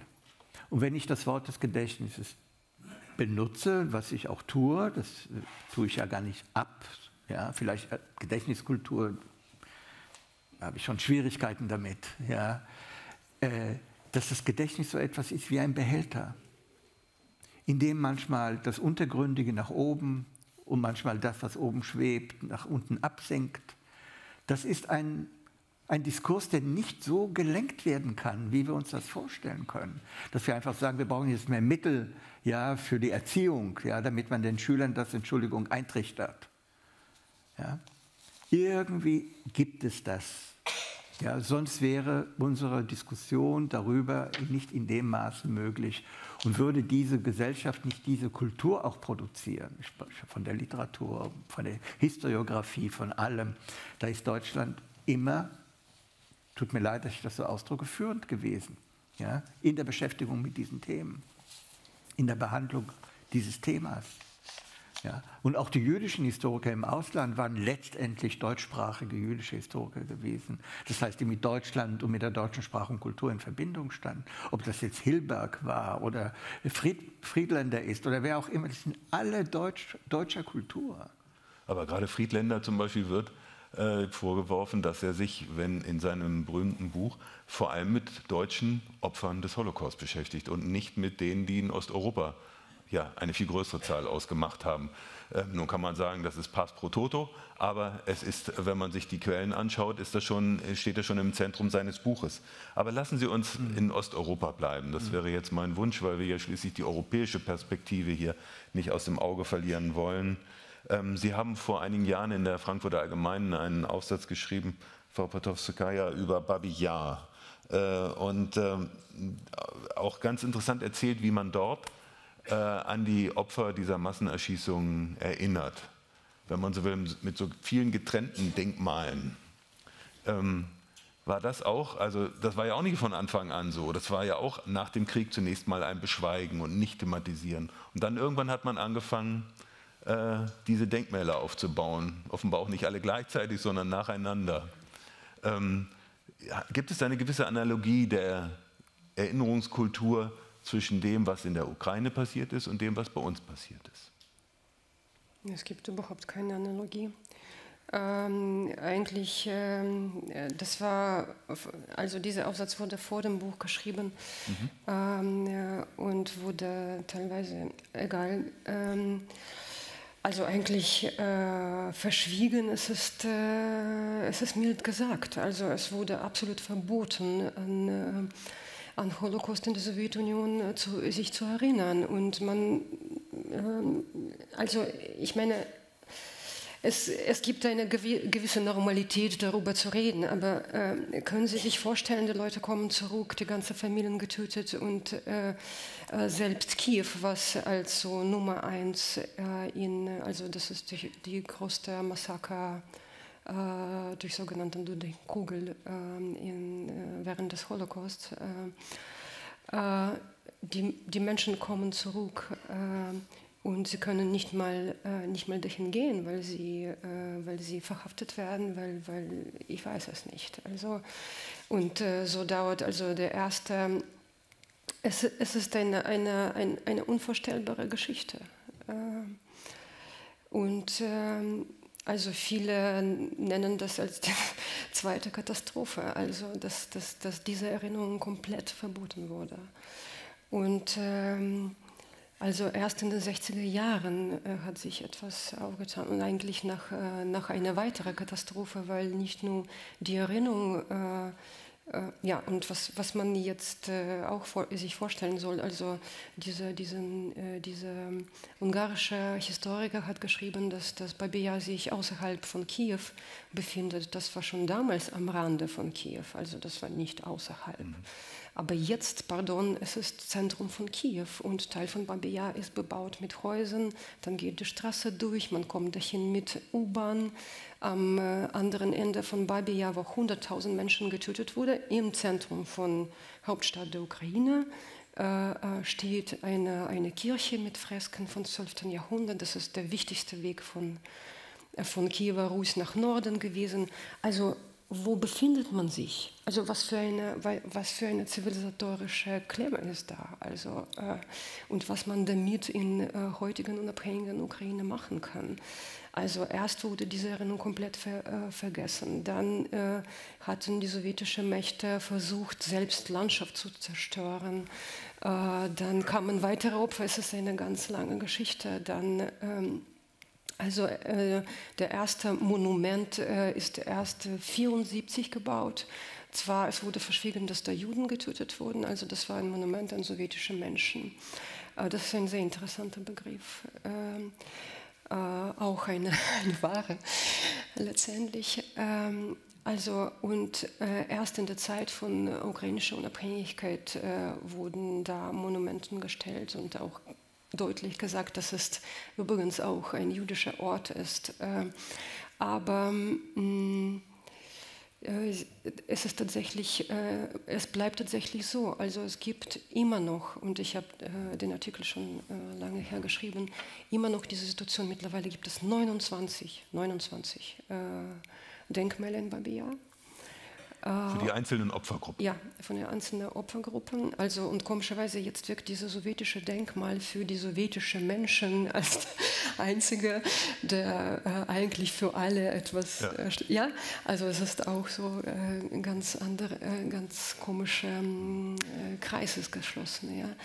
Ähm, also da gibt es äh, Monumente für Roma, die da getötet sind, für ähm, Insassen von Insassen, sage ich, von von ähm, Kriegsgefangenenlager, ähm, also verschiedene Gruppen, Bevölkerungsgruppen.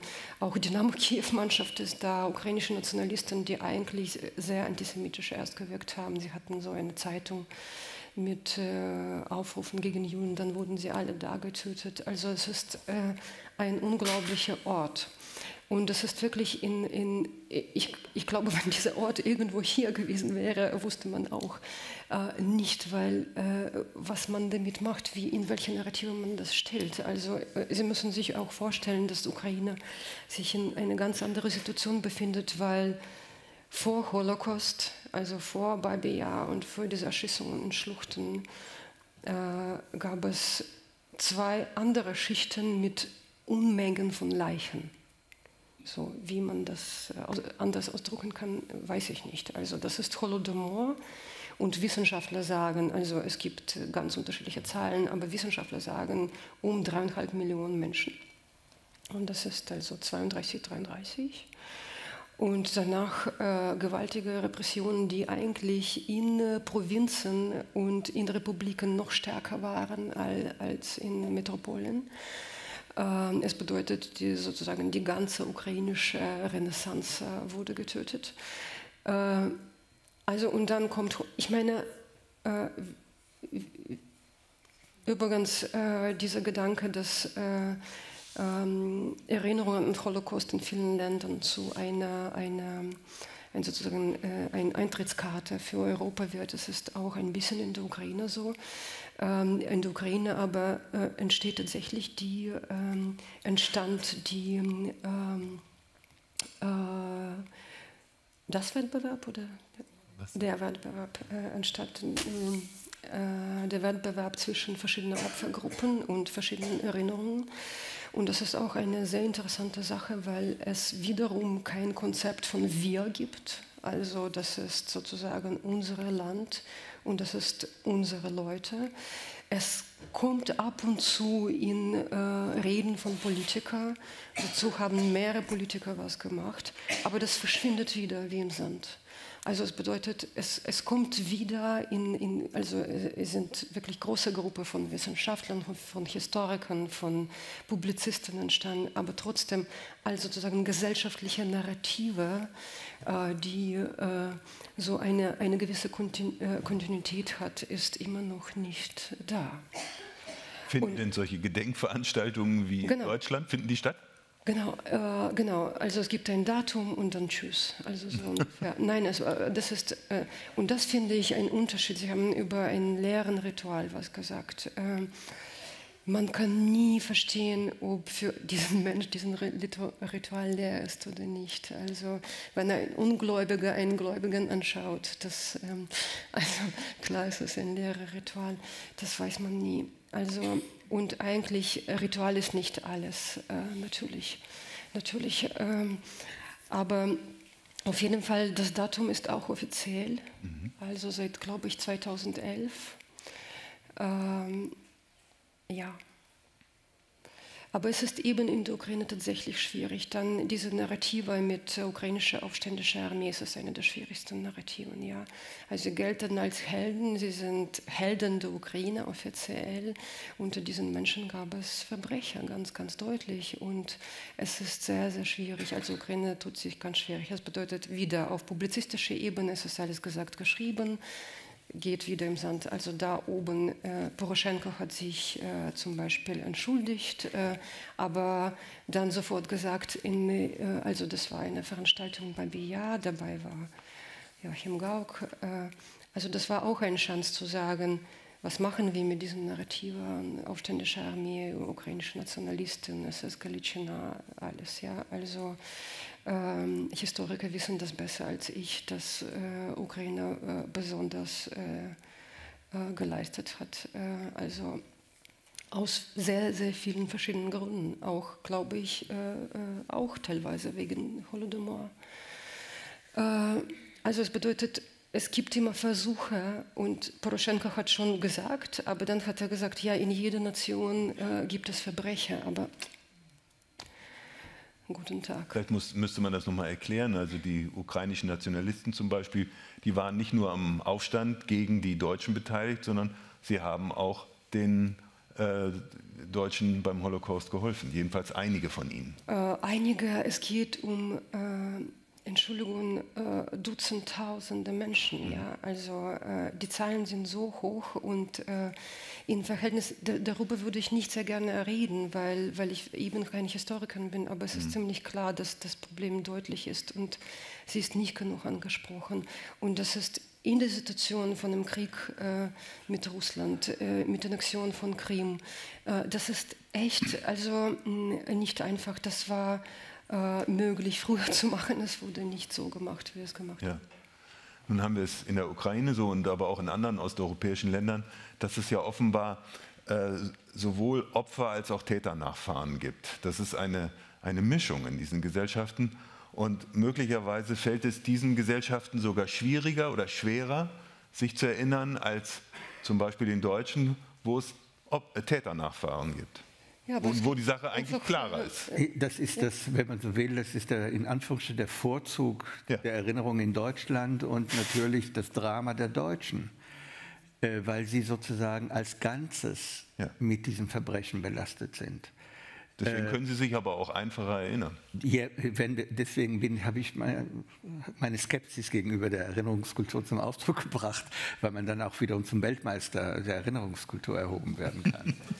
äh, es ist, das ist der große Unterschied. Und die, die, die, Realität, der, die Realität der Geschichte in, in dem, was man als Osteuropa nannte oder Osteuropa war, ist zerklüftet. Mhm. Hier ist sie eindeutig. Die Unterscheidungslinien sind klar. Ja?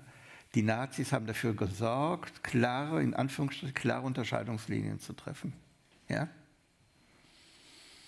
Es gab Widerstand, aber der war randständig. Hm. Die DDR hat daraus eine Staatsideologie gemacht und musste deswegen die Opfer des Holocaust vergessen. Notwendig. Der Widerstand, die Entscheidung des Einzelnen, sich dem Faschismus sozusagen entgegenzustellen, das ist sozusagen die höchste Form, wenn man so will, des sozialistischen Heldentums. Die anderen sind halt nur umgebracht worden. Die haben ja gar nichts getan. Ja? Das kann man auch so wenden. Sind also nicht in der Lage oder nicht fähig, beziehungsweise werden nicht mit einer Rente bedacht oder was auch immer. In der Sowjetunion war das ja nicht ganz anders. Sagen wir, die sowjetischen Zivilisten, ja, von denen man heute weiß, dass es eigentlich Juden sind, die Unterscheidung zu treffen zwischen, sagen wir, Russen und Juden, dass da die Behandlung eine andere war, dass man, sagen wir, als Russe, was nicht sehr allgemein ist, aber man kann sagen, es gab so etwas wie eine Vlasov-Armee. Ja, man konnte ganze sowjetische Einheiten konnten sich den Nazis anschließen. Da haben die Nazis in den Rassismus vergessen. Ja, da ging es um den Krieg. Das war mit den Juden nicht der Fall. Ja, und so geht es immer weiter. Und auch das polnisch-jüdische Verhältnis ist ein dramatisches Verhältnis. Ja, es, ist so, es ist so unendlich dramatisch, dass man es schon als eine Tragödie bezeichnen kann. Ja? Das ist also dieses wunderbare Gedicht von, von Miloš, wunderbar, ja, über na, Karussell? Wie, wie hieß es nochmal? Moment. Ähm, ja, gleich, kommt gleich. Ich trage es nach. ja. ähm, Campo, Campo di Fiore. Okay. Ja, wo er dann beschreibt, das Ghetto brennt und außerhalb der Mauer ja, Karussell, der Jahrmarkt, das normale Leben. Beides nebeneinander, nur durch die Ghettomauer getrennt. Zwei völlig verschiedene Schicksale. Was nicht heißt, dass das Schicksal der Polen gut war. Ganz im Gegenteil. Ja? Aber es war ein anderes Schicksal. Völlig anders. Ja. Und äh, dann kam, weil Sie von Babi Yar gesprochen haben, dann kam ein Gedicht ja, von Jewgeni Jewtuschenko. Ja, aber das ist interessant, weil davor auch Und, Gedichte gab. Ja, aber sein Gedicht, aber das war die Zeit, in genau. der es sich regte. Ja. Anfang der, der 60er Jahre. Genau. Ja. Anfang der 60er. Also das erste Gedicht über Babi Yar ist von Mikola Bajan in 1943 geschrieben. Nichts. Ja? Also es gab ein, eine Symphonie, die direkt nach dem Krieg geschrieben wurde. Nichts. Also erst Jewtuschenko und Schostakowitsch. Ja. Meine Damen und Herren, ich ja. würde gerne jetzt mal einen Schnitt machen. Wir haben nämlich unser Zeitdeputat schon so ein bisschen überschritten, wir drei hier oben. Wahrscheinlich könnten wir noch ein paar Stunden so weitermachen, aber Sie sollen ja nun auch mitmachen. Beziehungsweise wir würden uns sehr freuen, wenn Sie sich beteiligen, wenn Sie Fragen haben, Fragen stellen, dann haben Sie jetzt die Gelegenheit, das auch zu machen. Und äh, wer macht den Anfang? Sie wollen den Anfang machen?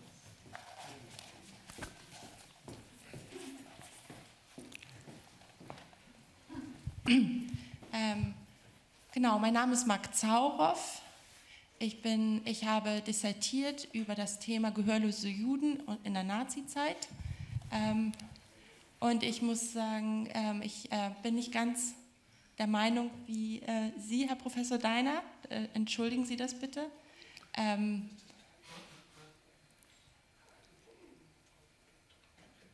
ich habe alle Ihre ähm, ähm Moment, die Dolmetscherin muss kurz wachen. Also es geht um ähm, ähm, die Definition von Spielraum und Erfahrungsraum. Da bin ich nicht ganz Ihrer Ein Meinung, ähm, aber das nur am Rande gesagt. Ich, ich wollte jetzt genau zu, mein, Frau, äh, zu meinen Fragen kommen. Also erstmal vielen Dank für die Vorträge, es war interessant. Ähm, Sie haben erzählt, äh, genau, Sie haben über Ihre individuelle Familiengeschichte erzählt und es ging um Aufklärung. Und ähm,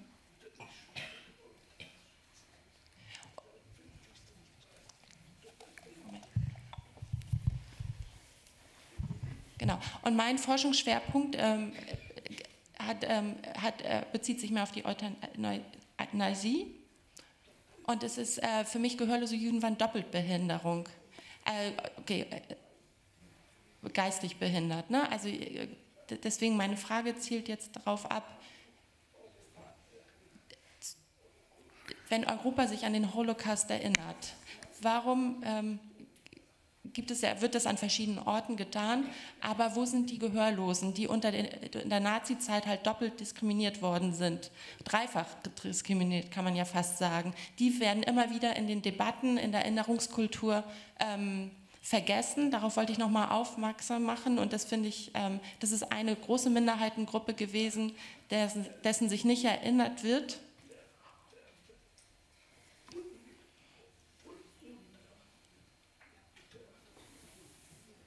das mit dem Pferd hat die das Bild. Genau. Und Kafka hat, mal, hat, hat das mal beschrieben als die zwei Pferde mit, die, mit, die zwei, mit die zwei Wagenspannen, die, also deutsch oder jüdisch. Er bewegte sich immer dazwischen und äh, dass er immer zwischen den Rädern fiel. So, und so, ähm, ich finde, das ist ein ganz, äh, schön, ganz schönes Bild. Aber ich möchte hier darauf nochmal hinweisen, dass in den ganzen Debatten, in der ganzen Erinnerungskultur äh, die gehörlosen Juden in der Nazizeit vergessen worden sind, die auch unter den Euthanasiegesetzen gefallen sind. Ich habe die nicht vergessen. Also das ist Teil meiner, meiner Familie und ähm, ähm, also Euthanasie ist dieser, dieser Teil der Welt. Bei uns war es Babi Yar. Ähm, also und, ähm, und eigentlich äh, meine Urgroßmutter, eine von Urgroßmüttern, äh, äh, ist in Kiew geblieben, weil sie eben äh, noch in dieser äh, Taubstummschule, wie man äh, äh, damals so genannt hat, für jüdische Kinder gearbeitet hat. Ähm, Und die Schule wurde evakuiert, aber die Angehörigen eigentlich nicht. Und äh, mit, äh, mit Taubstum, mit diesem Wort, was heutzutage politisch unkorrekt ist, äh, gibt es auf Russisch natürlich so eine merkwürdige Geschichte, weil, weil ähm, Niemoy, also taub auf Russisch, Niemetz. ja, äh, ist derjenige, der nicht spricht. Und äh, Niemetz, der Deutsche, ist derjenige, der nicht spricht. Also das ist eine der Etymologien von diesem Wort. Also sozusagen Barbaren haben Blabla gemacht und die Deutschen hatten geschwiegen.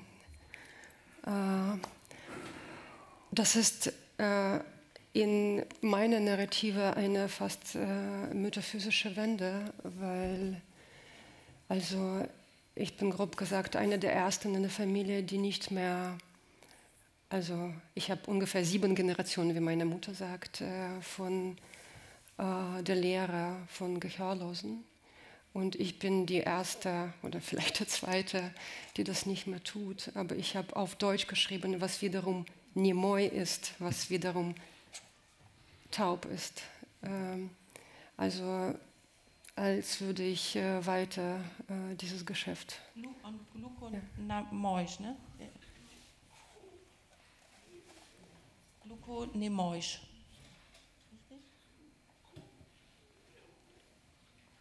aber können wir auch später, vielleicht hat die Dame schon das Russische jetzt wir falsch äh, ja, wir können später. aber Gluconemoisch heißt es, glaube ich. Nimoy, Nimoy, Nimoy. Also äh, äh, stumm. Ja, ich habe plötzlich taub gesagt, ja, Entschuldigung, stumm. Ja. Aber ich glaube, man, wir müssen ihm zustimmen, dem äh, Herrn, der sich hier eben geäußert hat, äh, dass diese Kultur der Erinnerung sich ganz stark fokussiert auf die europäischen Juden und dass viele andere Opfergruppen, äh, die an Zahl kleiner waren, dabei gerne vergessen werden. Das ist, glaube ich, unstrittig. Na, ich bin da nicht ganz sicher, ob das so einvernehmlich ist. Ähm, vielleicht einerseits eine Wiederholung, andererseits vielleicht eine Erweiterung. Ich beginne vielleicht mit der Erweiterung. Äh, ist Ihnen vielleicht aufgefallen, dass ich äh, von dem Ereignis, um das es geht, als dass ich das Wort vom Holocaust benutze und nicht das Wort Shoah benutze. Hätte ich ja auch machen können. Äh, das Wort Shoah ist ja hebräisch und äh, es wird dann sozusagen insinuiert, es wird durch, den Sprach, durch die Sprache und den Sprachraum wird eine ganz bestimmte Gruppe natürlich hervorgehoben. Ist beim Holocaust nicht ganz der Fall, würde ich meinen.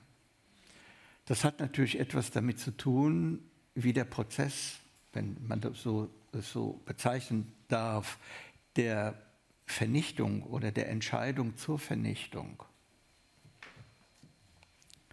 Ich verkürze das mal. Bevor die Juden ermordet wurden, gab es die Euthanasie.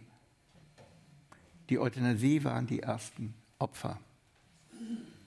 Ja?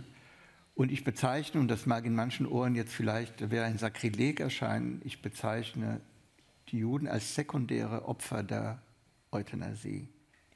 Warum? Ich spreche nicht von den Massenerschießungen. Ich spreche nicht vom Babi Yar. Ich spreche nicht vom Holocaust, ja, Gewehrkugeln, mit Gewehrkugeln, Erschießungen. Ich spreche von dem, von dem Anbeginn der industriellen Vernichtung.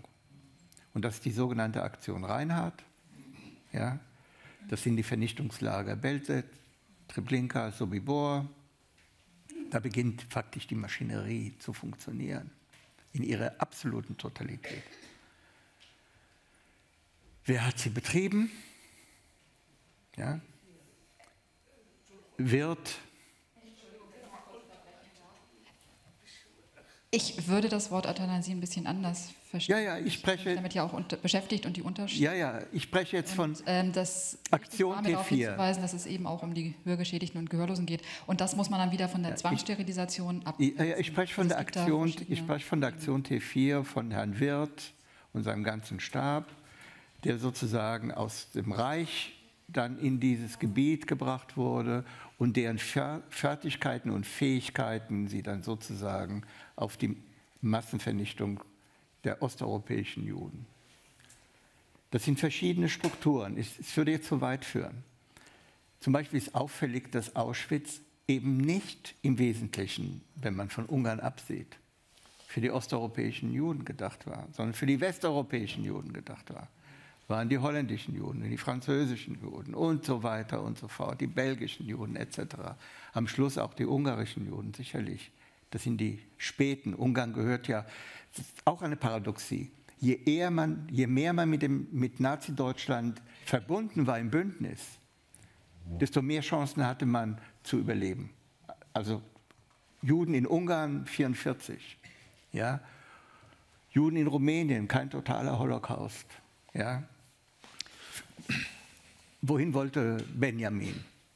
Er wollte nach Spanien, nicht? Da war schon inzwischen ein anderes Regime. Ja, es war die umgekehrte Fluchtrichtung, wenn Sie so wollen. Ja, nur ein Hinweis darauf. Ja, Juden fliehen ins faschistische Italien. Ja, und so weiter und so fort, um die Komplexität, sagen wir, dieser Ikone Europa zu verstehen und warum die Erinnerungen notwendigerweise auch andere sind. Vielleicht äh, können wir noch mal hier unseren Gästen die Chance geben, eine weitere Frage, eine weitere Anregung loszuwerden. Und äh, ja? Ähm, darf ich noch einmal kurz auf das Buch zurückkommen? Da äh, erscheint der Begriff Polania und ich wollte noch kurz den Hinweis geben, ähm, dass es im Hebräischen auf drei Wörter zurückzuführen ist, die man ähm, übersetzen könnte. Und ähm, wahrscheinlich wäre es sinnvoll, an der Stelle Bo, Gar und Ja zu schreiben. Das hieße dann Gottes Heimat. Und äh, mir war dieser Begriff in Ihrem Buch aufgefallen. Polania an sich gibt es so in der Form nicht. Ähm, man könnte dann eben Bo, Gar oder Bo, Chai, Ja vielleicht als äh, Abkürzung schreiben. Und ähm, diesen Hinweis wollte ich geben und vielleicht auch nochmal fragen, woher diese Übersetzung Polania bei Ihnen stammt.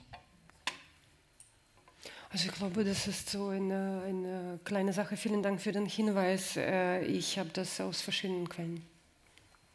Ich glaube, es ist jetzt nicht äh, sehr wichtig für das ganze Publikum. Mhm. Vielen Dank für den Hinweis. Gut, vielen Dank. Und äh, jetzt sind Sie aber wirklich an der Reihe.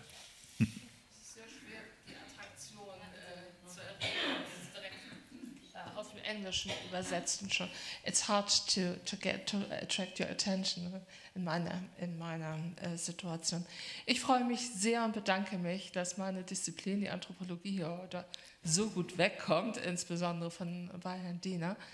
Ähm, äh, zwei Bemerkungen. Einmal zur Kontamination.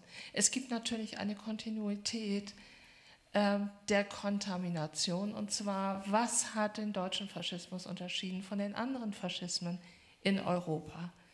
Das war tatsächlich die Vorstellung, dass ein Apfel, ein fauliger Apfel das ganze Fass verderben kann. Also mit anderen Worten, dass ein so geringer Prozentsatz an jüdischer Bevölkerung tatsächlich eine Gefahr war für die deutsche Gesellschaft.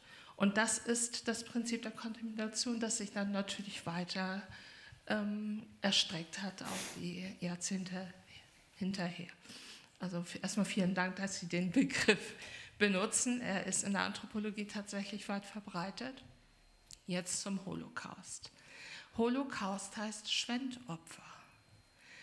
Aus der Septuaginta der griechischen Bibel für die Nichtjudaisten hier.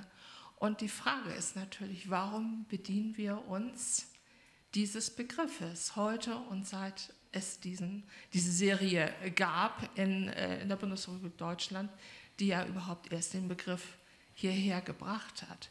Schwendopfer, wollen wir wirklich diesen Begriff benutzen? Sollten wir diesen Begriff benutzen? Ein Opfer für wen? Herr Diener ganz kurz. Ich meine, alle Begriffe, die wir dafür verwenden würden, würden unpassend sein. Ja? Deswegen ist also nochmal der Hinweis auf Churchill, ja, A Crime Without a Name, wunderbar, aber es ist viel zu poetisch. Ja? Inzwischen lieber Endlösung, wie wir es in 50er und 60er Jahren benutzt haben. Dann trat Holocaust auf und da wurde es benutzt, da wurde es angenommen. Dann würde ich sagen, lassen Sie es doch sein. Ja, egal was sozusagen, wenn wir jetzt das Griechische, das Griechisch entblättern, dass es nicht genau dem oder überhaupt nicht dem entspricht, was wir meinen. Es hat eine andere Bedeutung. Es gibt, sagen wir, das griechische Wort, ja, und es gibt die Benutzung dieses Wortes, Verschiebung dieses Wortes auf einen anderen Gegenstand. Lassen Sie es sein.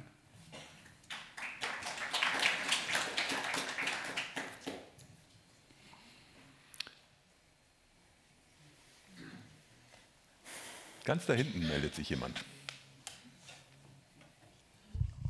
Das, ja, umso besser. Mein Name ist Wolfgang Merten. Ich wollte noch mal ansprechen, was hier im Deutschen Reich eigentlich geschehen ist damals. Die Juden, ich habe hier vor ein paar Jahren ein Kinderbuch gefunden, haben Schlumpf für zwei Mark erworben. Und da ging es um Ratten, Schmeißfliegen, Wanzen etc. Und wenn man sich da mal mit auseinandergesetzt, was in den 20er Jahren begann oder noch etwas früher im Deutschen Reich, dass man die Juden eben so abqualifiziert hat mit diesen Begriffen, die das nachher ermöglichten, dass die Menschen, die Deutschen, auch christliche Deutsche, eben die Juden tatsächlich so ansah, dass sie vernichtet werden mussten. Also wenn Sie da vielleicht mal was zu sagen könnten und wie das in Osteuropa gesehen wurde, ob das da die gleiche äh, Szene gab. Ich, kann, ich werde die Frage natürlich nicht direkt beantworten, weil sie meines Erachtens, äh, wie soll ich sagen, aus, aus dem, was Sie geschildert haben, können wir wenig, wenig gewinnen zum Verständnis dessen, was geschieht. Ich werde Ihnen was ganz anderes, weil das das Osteuropäische mit verbindet, sagen. Am 20. September 1938 äh, wurde der polnische Botschafter in Berlin, Lipski, nach äh, den Obersalzberg zitiert zu einem Gespräch mit Hitler. Und dort, nach dem Memorandum, das man einsehen kann, vor ihm war gerade der ungarische Botschafter da gewesen. Und äh, worum ging es in diesem Gespräch mit Hitler? Es ging, wenn ich mich jetzt so polemisch ausdrücken darf, um die Beute ja, um welche Beute ging es? Es ging um die Sudetenkrise, sogenannte ja, Sudetenkrise, an der sich dann beteiligt haben, ja, an der Beute. Das war natürlich das Deutsche Reich, das war Ungarn und das war Polen.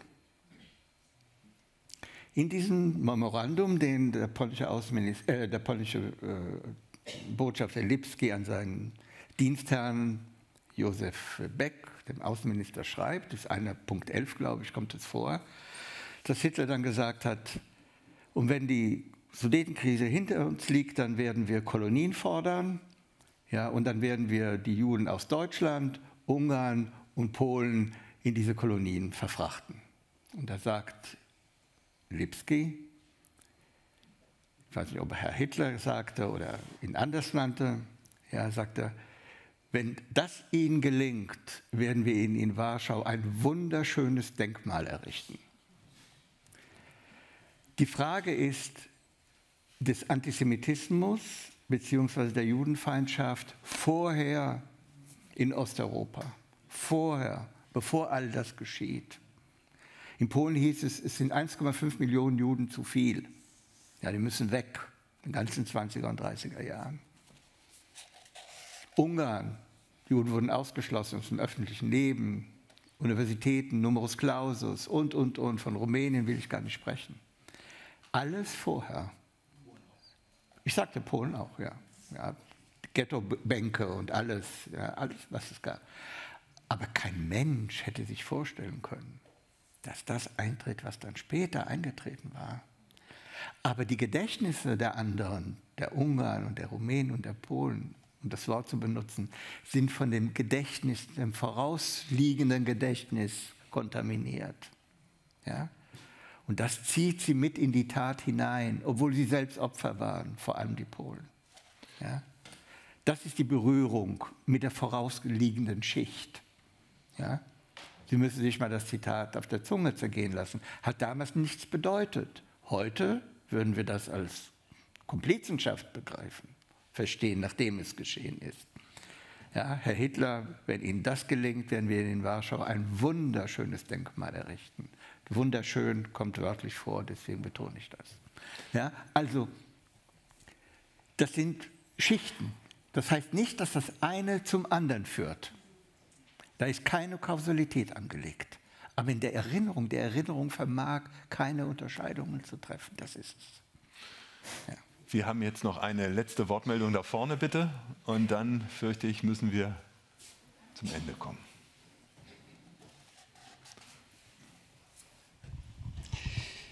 Wenn ich das Thema richtig verstanden habe, Europa erinnert, den, oder erinnert an den Holocaust, bedeutet das doch mit Sicherheit nicht, äh, dass es nur ausschließlich um das Erinnern geht.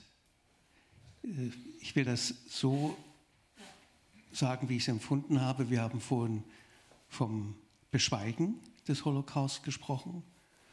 Wir haben vom institutionalisierten Erinnern gesprochen.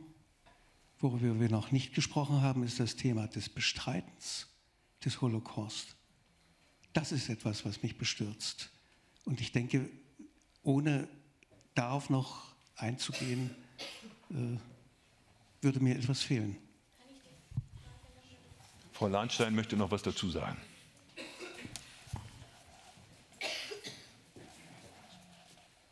Ja, mein Name ist äh, Sonja Lahnstein und ähm, ähm, ich war eigentlich die ganze Zeit sehr ruhig und ähm, habe da so mit großem Interesse zugehört. Und ich muss sagen, am Ende äh, bin ich doch unglaublich äh, emotional jetzt geworden. Ich meine, ich bin, vielleicht hier passe ich eigentlich in dieses Thema, ich bin ähm, eine Jüdin, die aus dem Sozialismus nach Deutschland gekommen bin. Ich bin jetzt eine jüdische Deutsche oder eine deutsche Jüdin, ähm, nicht Mitbürgerin, sondern Bürgerin. Und ich würde das gerne einmal noch zum Abschluss fragen, was hier äh, nicht, worüber nicht gesprochen wurde, ist, ähm, wie soll das, also was sagen Sie äh, zur Zukunft? Ähm, Sie haben das angesprochen, wissenschaftlich, äh, schriftstellerisch, journalistisch. Ähm, bin gerade äh, in einem äh, Forum, am bundesweiten Forum Antisemitismus, ähm, wo wir uns damit beschäftigen, was sind die täglichen Dinge der Erinnerung und auch der, also verbunden mit dem Antisemitismus, der eine eigene Dimension ist, und auch, welche Zukunft ist das für Europa? Also wir haben zu wenig darüber gesprochen, ähm, in welcher Form das eigentlich das Werteverständnis Europas mitbestimmt noch in Zukunft. Das würde ich gerne noch zum Abschluss hören. Ein weites Feld, aber vielleicht mag jeder von Ihnen beiden noch eine Art Schlusswort dazu sprechen, zu dem, was wir eben gerade gehört haben. Also ich glaube, ich habe persönlich nicht darüber gesprochen, weil es mir nicht zusteht, ähm, in gewisser Weise. Ähm, und vielleicht, weil ich das als Selbstverständlichkeit verstehe. Und wir, wir sind alle hier deswegen auch hier. Ja ähm, ja, dass, dass es weiter erinnert werden soll. Die Frage ist, wie. Also ich, ich habe zwei Kinder in, in, in den deutschen Schulen und ich sehe, dass, das ist, äh, dass da, was da geschieht mit, mit äh, äh Unterricht äh, über Holocaust, ist äh, eine Gewalt.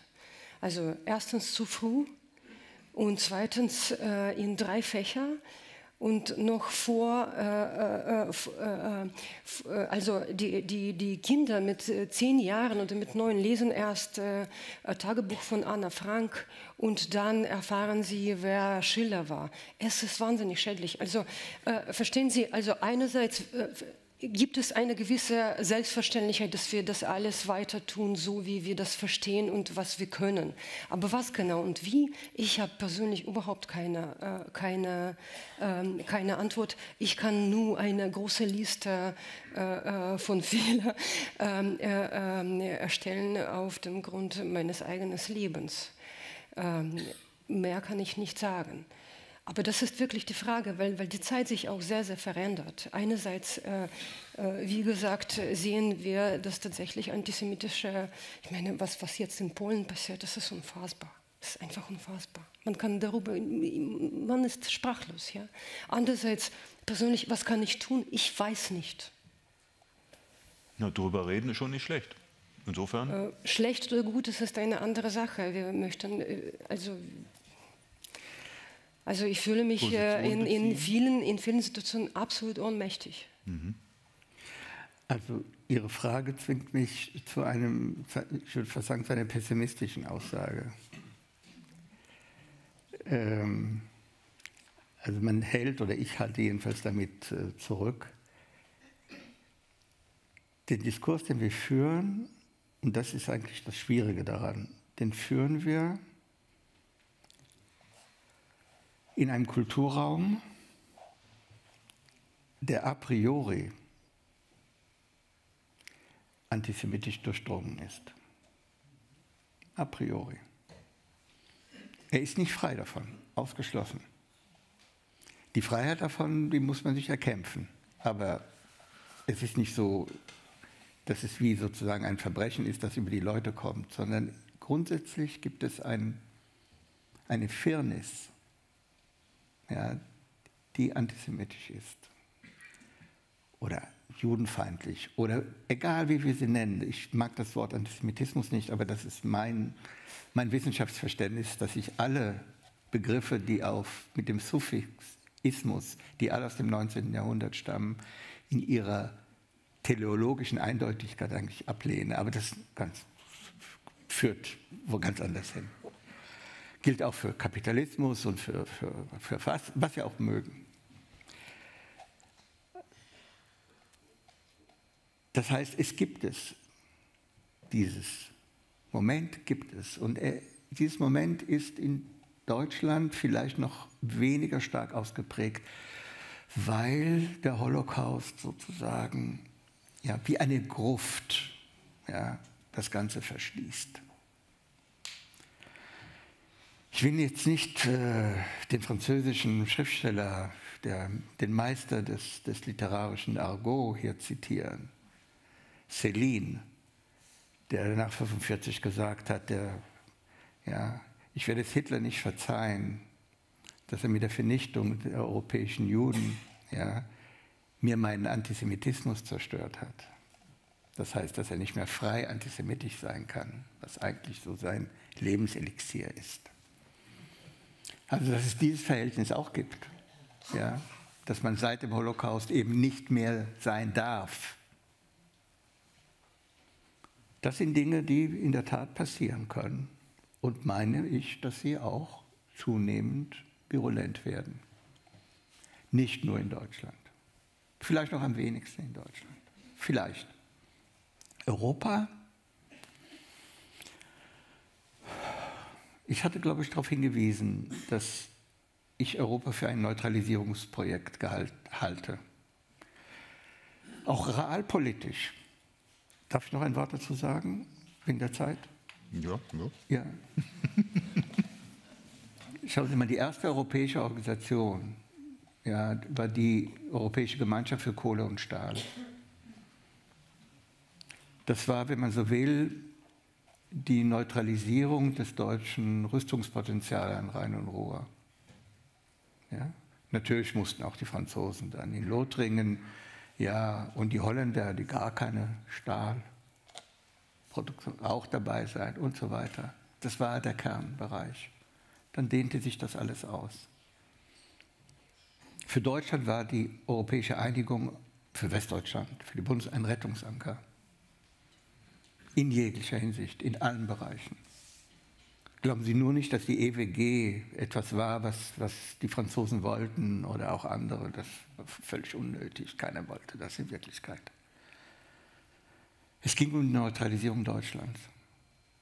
Und auch das Letzte war der Versuch, mittels des Euro, natürlich wollte man eine europäische Währungs- und Wirtschaftsunion, altes Projekt, aber es gab keinen Zeitpunkt dafür, bis zum Augenblick der Wiedervereinigung dann hat Mitterrand das sozusagen, auf Thatcher, aber Mitterrand Kohl abgerungen, der Euro.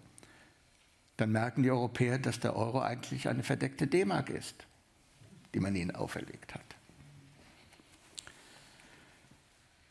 Was wird sein, wenn die Europäische Union nicht mehr das hält, was sie verspricht? Dann ist Deutschland Deutschland. Und dann ist die Frage der Kultur in diesem Lande, der politischen Kultur, von existenzieller Bedeutung. Wann das sein wird, wie das sein wird, die Briten sind weg, die anderen schweben die, und so weiter und so fort. Wir wissen nicht, was passieren wird. Und insofern sind diese Dinge, über die wir reden, nicht nur vergangenheitsrelevant, sondern sie haben auch ein Potenzial, was die politische Zukunft angeht.